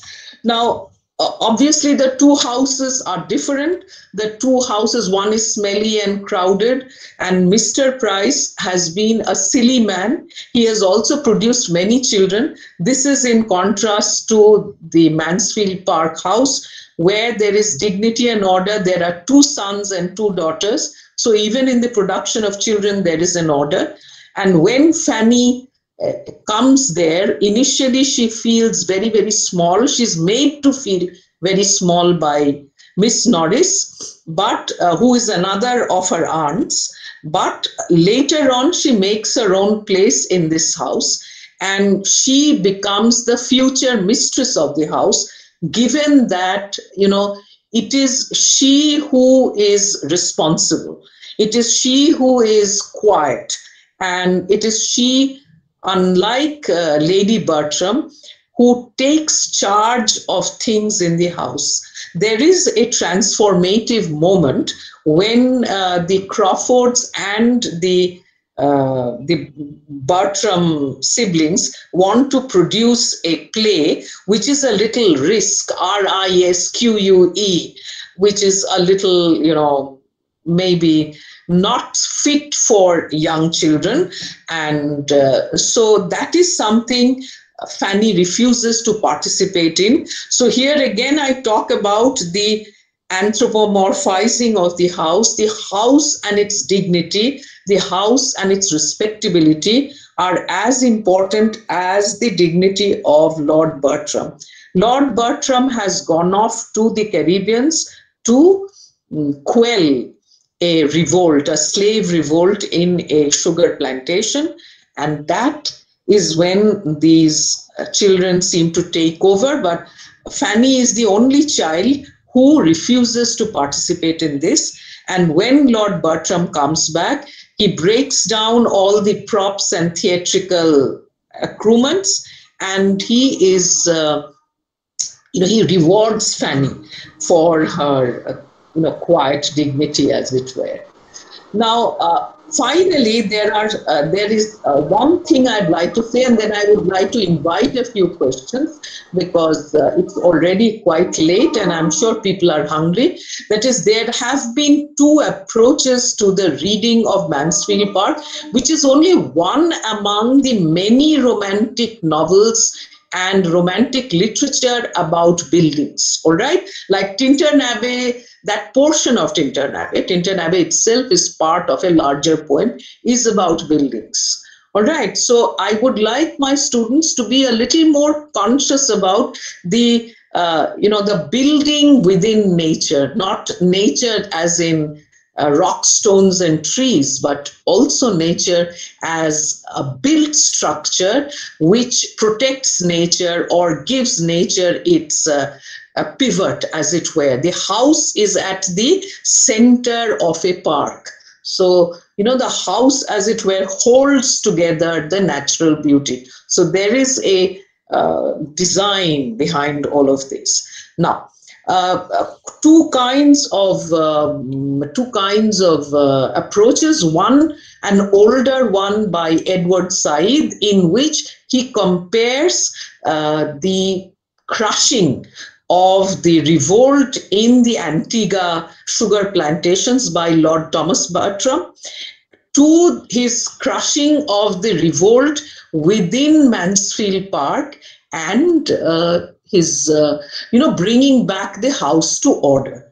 But there has been a revisionist approach in which one shows the close connections between Jane Austen and her affinity towards Lord Mansfield and his family and affinity towards Mansfield's great judgment about the rights of a slave. I come back again to what is very contemporary that Black Lives Matter. Why must one still preface the word life with Black Lives Matter? Because obviously they don't matter. Okay, that is that is why we are still talking about Black Lives Matter. So instead of all lives matter. So black makes black reminds you of this history of slavery and this history of instrumentalizing a human body. Now within England, this is the new uh, you know the new theses that are coming up that Jane Austen was actually pro-abolition.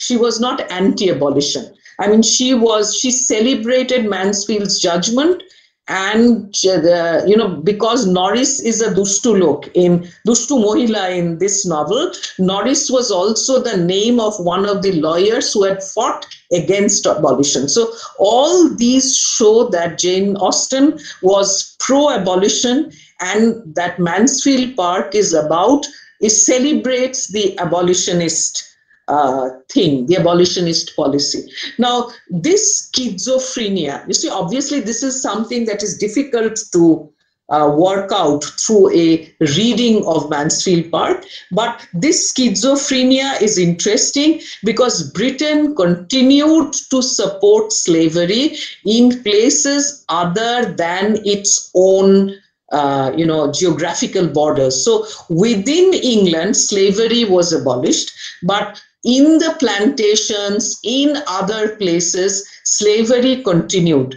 It was later replaced by indentured labor, but within England, you know, and its laws of liberty and human equality, the question of the slave trade was abolished because it uh, you know, it made a human being into an instrument.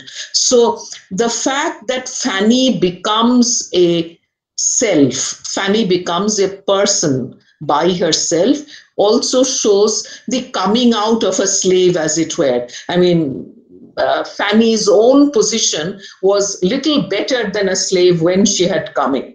So this schizophrenia is a healthy schizophrenia. You know, so I'm, there are two approaches. One that this is an anti-abolitionist novel and two that it is a pro-abolitionist novel now i am i don't mind this either or because i find both to be in dialogue and both to be a productive place to read Mansfield Park and to read romantic literature as engaged in houses and nature and nature in houses. Thank you.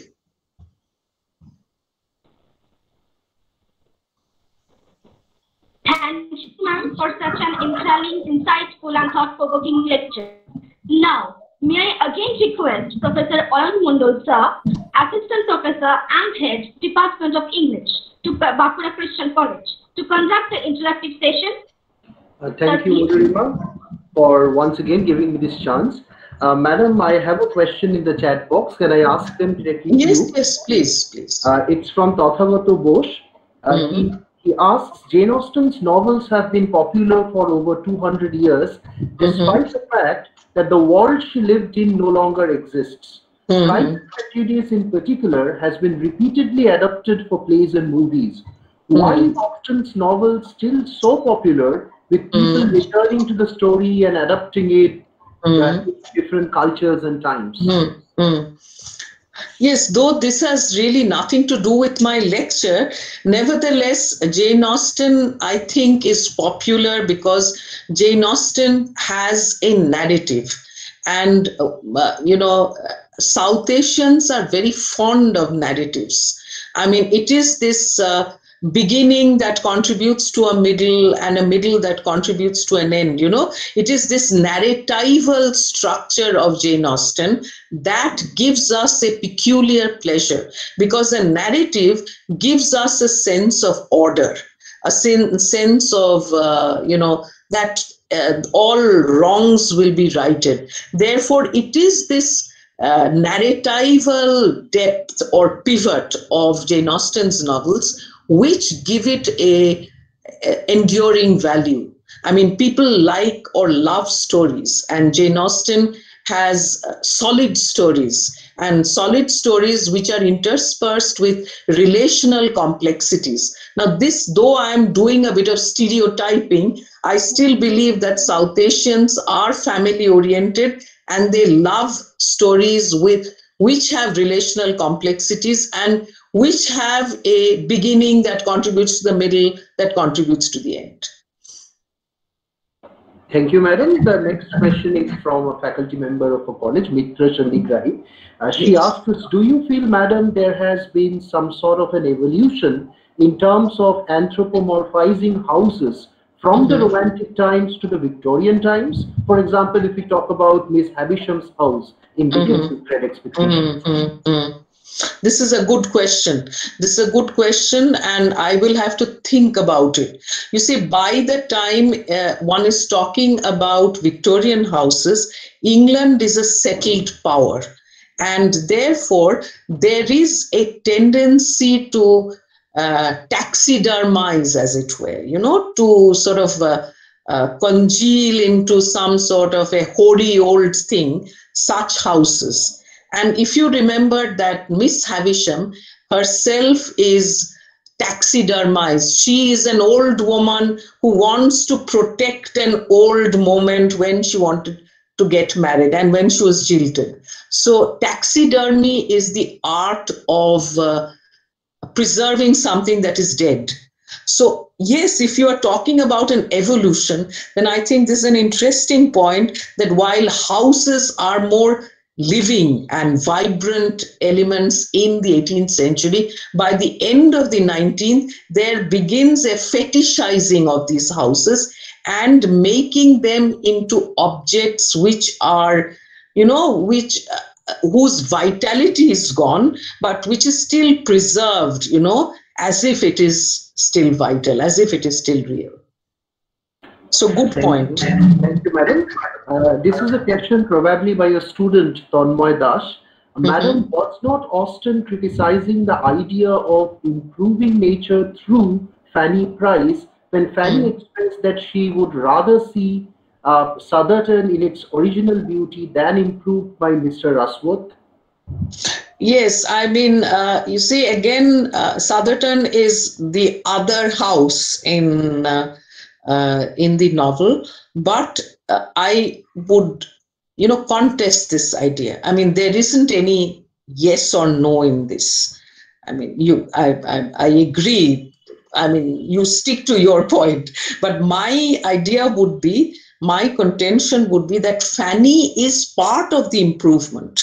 You see, when she comes into uh, Mansfield Park, Mansfield Park is almost entirely being run by Mrs. Norris. I mean, and there is an absentee, uh, the uh, you know house owner. The, uh, uh, Thomas Bertram has to run off to London for various parliamentary duties, and Lady Bertram is a lazy, irresponsible woman. Therefore, the house lacks a center. The house lacks a moral center. Why is Fanny treated so badly in the beginning? I mean, had Lord Bertram had his way, then there would be justice and dignity given to this little girl who is actually related to them and who has been brought here on an act of charity. If one looks at the etymology of the word charity, it doesn't mean throwing a bone at a dog, it means love unconditional love. So, where is that justice? Where is that love in uh, Mansfield Park at the beginning of the novel.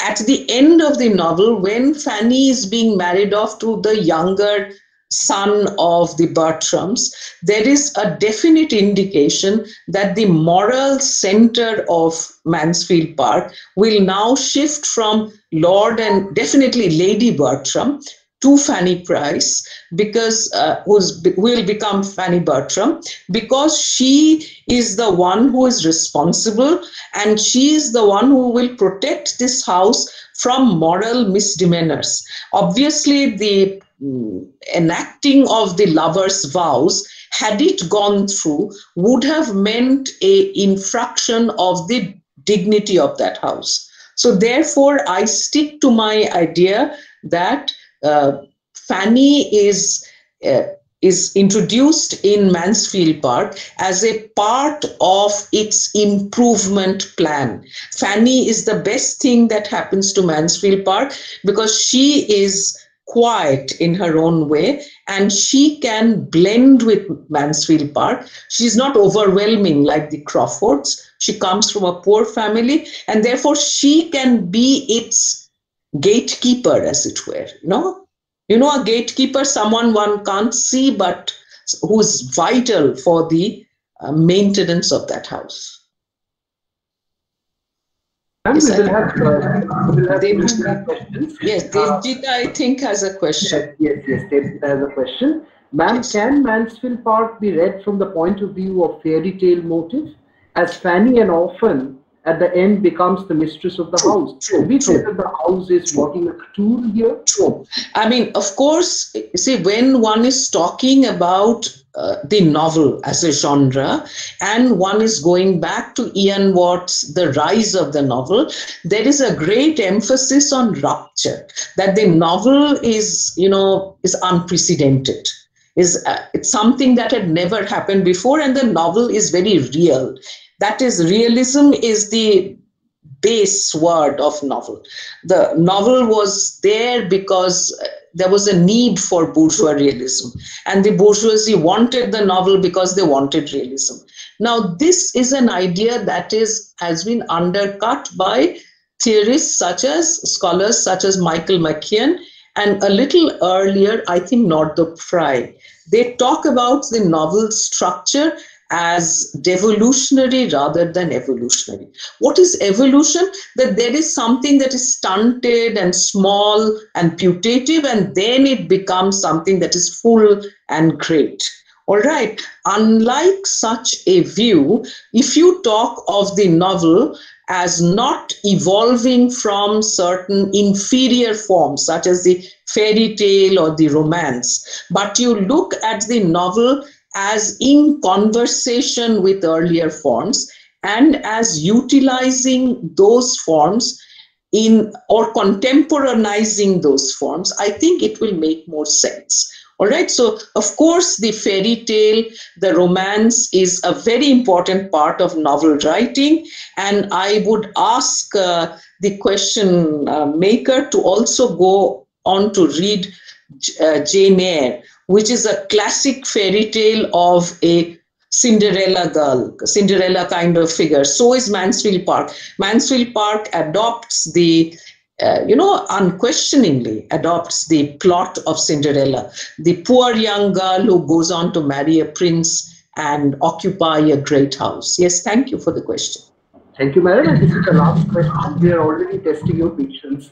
Uh, no, there, no, is no. A, there is a pattern of binary presentation of houses both in Pride and Prejudice. Uh, for mm -hmm. example, Bennet houses, Pemberley houses, and Wuthering Heights, Wuthering mm. Heights itself, and thrush Thrushcross Grange. Yes. In spite of the text being belonging to two different historical periods. Mm -hmm. There is also Thornfield Hall in Jane Eyre, standing mm. as an anthropomorphic house uh, set with schizophrenic tribes your mm. your, your take on this point. Yes, I think this is a good question, and I would have spoken about Thornfield Hall. Normally, I mean, uh, I, I actually wanted some people to ask me this question instead of me talking about it. Thornfield Hall is again a classic uh, house which is built on money from the uh, Caribbeans all right. And of course, in a later redoing of this novel, I think Wide Sargasso Sea, there is a greater emphasis on the plantation house okay, in Coulibri. And so uh, Thornfield Hall has been much spoken about. Yes, I mean, it is also a house that is built on the money of, uh, of the madwoman in the attic. And I think in the Victorian period, there is a deepening of these sensibilities. You said that there is a deepening of an awareness of the sin of slavery, the burden of slavery. And, uh, and it is that which casts its long shadow upon Thornfield Hall. The name itself is see, far less celebratory than Mansfield Park Okay, Mansfield Park contains within it a sense of celebration because it refers to that great anti slavery uh, judgment by Lord Mansfield. Whereas Thornfield, uh, you know, refers to some of the thorns that the British colonizers have actually sown, and they are going to reap the whirlwind. And it is only in the ethical fitness of things that Thornfield Hall is burnt down. And when uh, uh, Jane Eyre says, reader, I married him, obviously they are not going to live in Thornfield Hall anymore. There is, uh, they, uh, it's a paradise lost, but it's also a paradise regained in the sense that the burning down of Thornfield Hall, in a way, uh, sort of, you know, sort of squares up the sin of enslaving people and instrumentalizing them and you know packing a woman uh, a mad woman in the attic. So the burning down of thornfield hall i would say is ethically uh, important ethically viable. Uh, thank you so much. Madam i cannot thank you enough on behalf of the department for your scholarly talk and also for your words of uh, encouragement in respect of our hosting this web lecture series. Now over to my uh, student Madhurima. Madhurima, are you there? Ma'am, stay with us for one more minute. Yes, I, I, just, just one thing, uh, you know, Oyun, yes, I would like to repeat this at the end of my lecture, that a lecture in this webinar format, which many people are criticizing, is something that is like a communion because you cannot see the teacher. I mean, literally, I mean, of course, you can see the teacher on the webcam. It enhances the idea of what Martin Buber would call a communion. So, this, you know, this uh, connection between us and you and this loneliness that we suffer during the contagion is something that has been bridged by this department and i'm very very beholden for uh, you know enacting this communion as it were. Thank you so much ma'am. Uh, madhurima over to you. Madhurima? Yes. Now may i kindly request am i audible sir? Yes yes yes. Th uh, thank, thank you now, may I kindly request Moktu Mikundo ma'am, faculty, Department of English, Boston College, to start the thanks, ma'am. Yes. Am I audible? Yes, you're audible. Okay. I feel privileged enough to propose on behalf of the Department of English, Bankura Christian College, our indebtedness to the two distinguished resource persons today.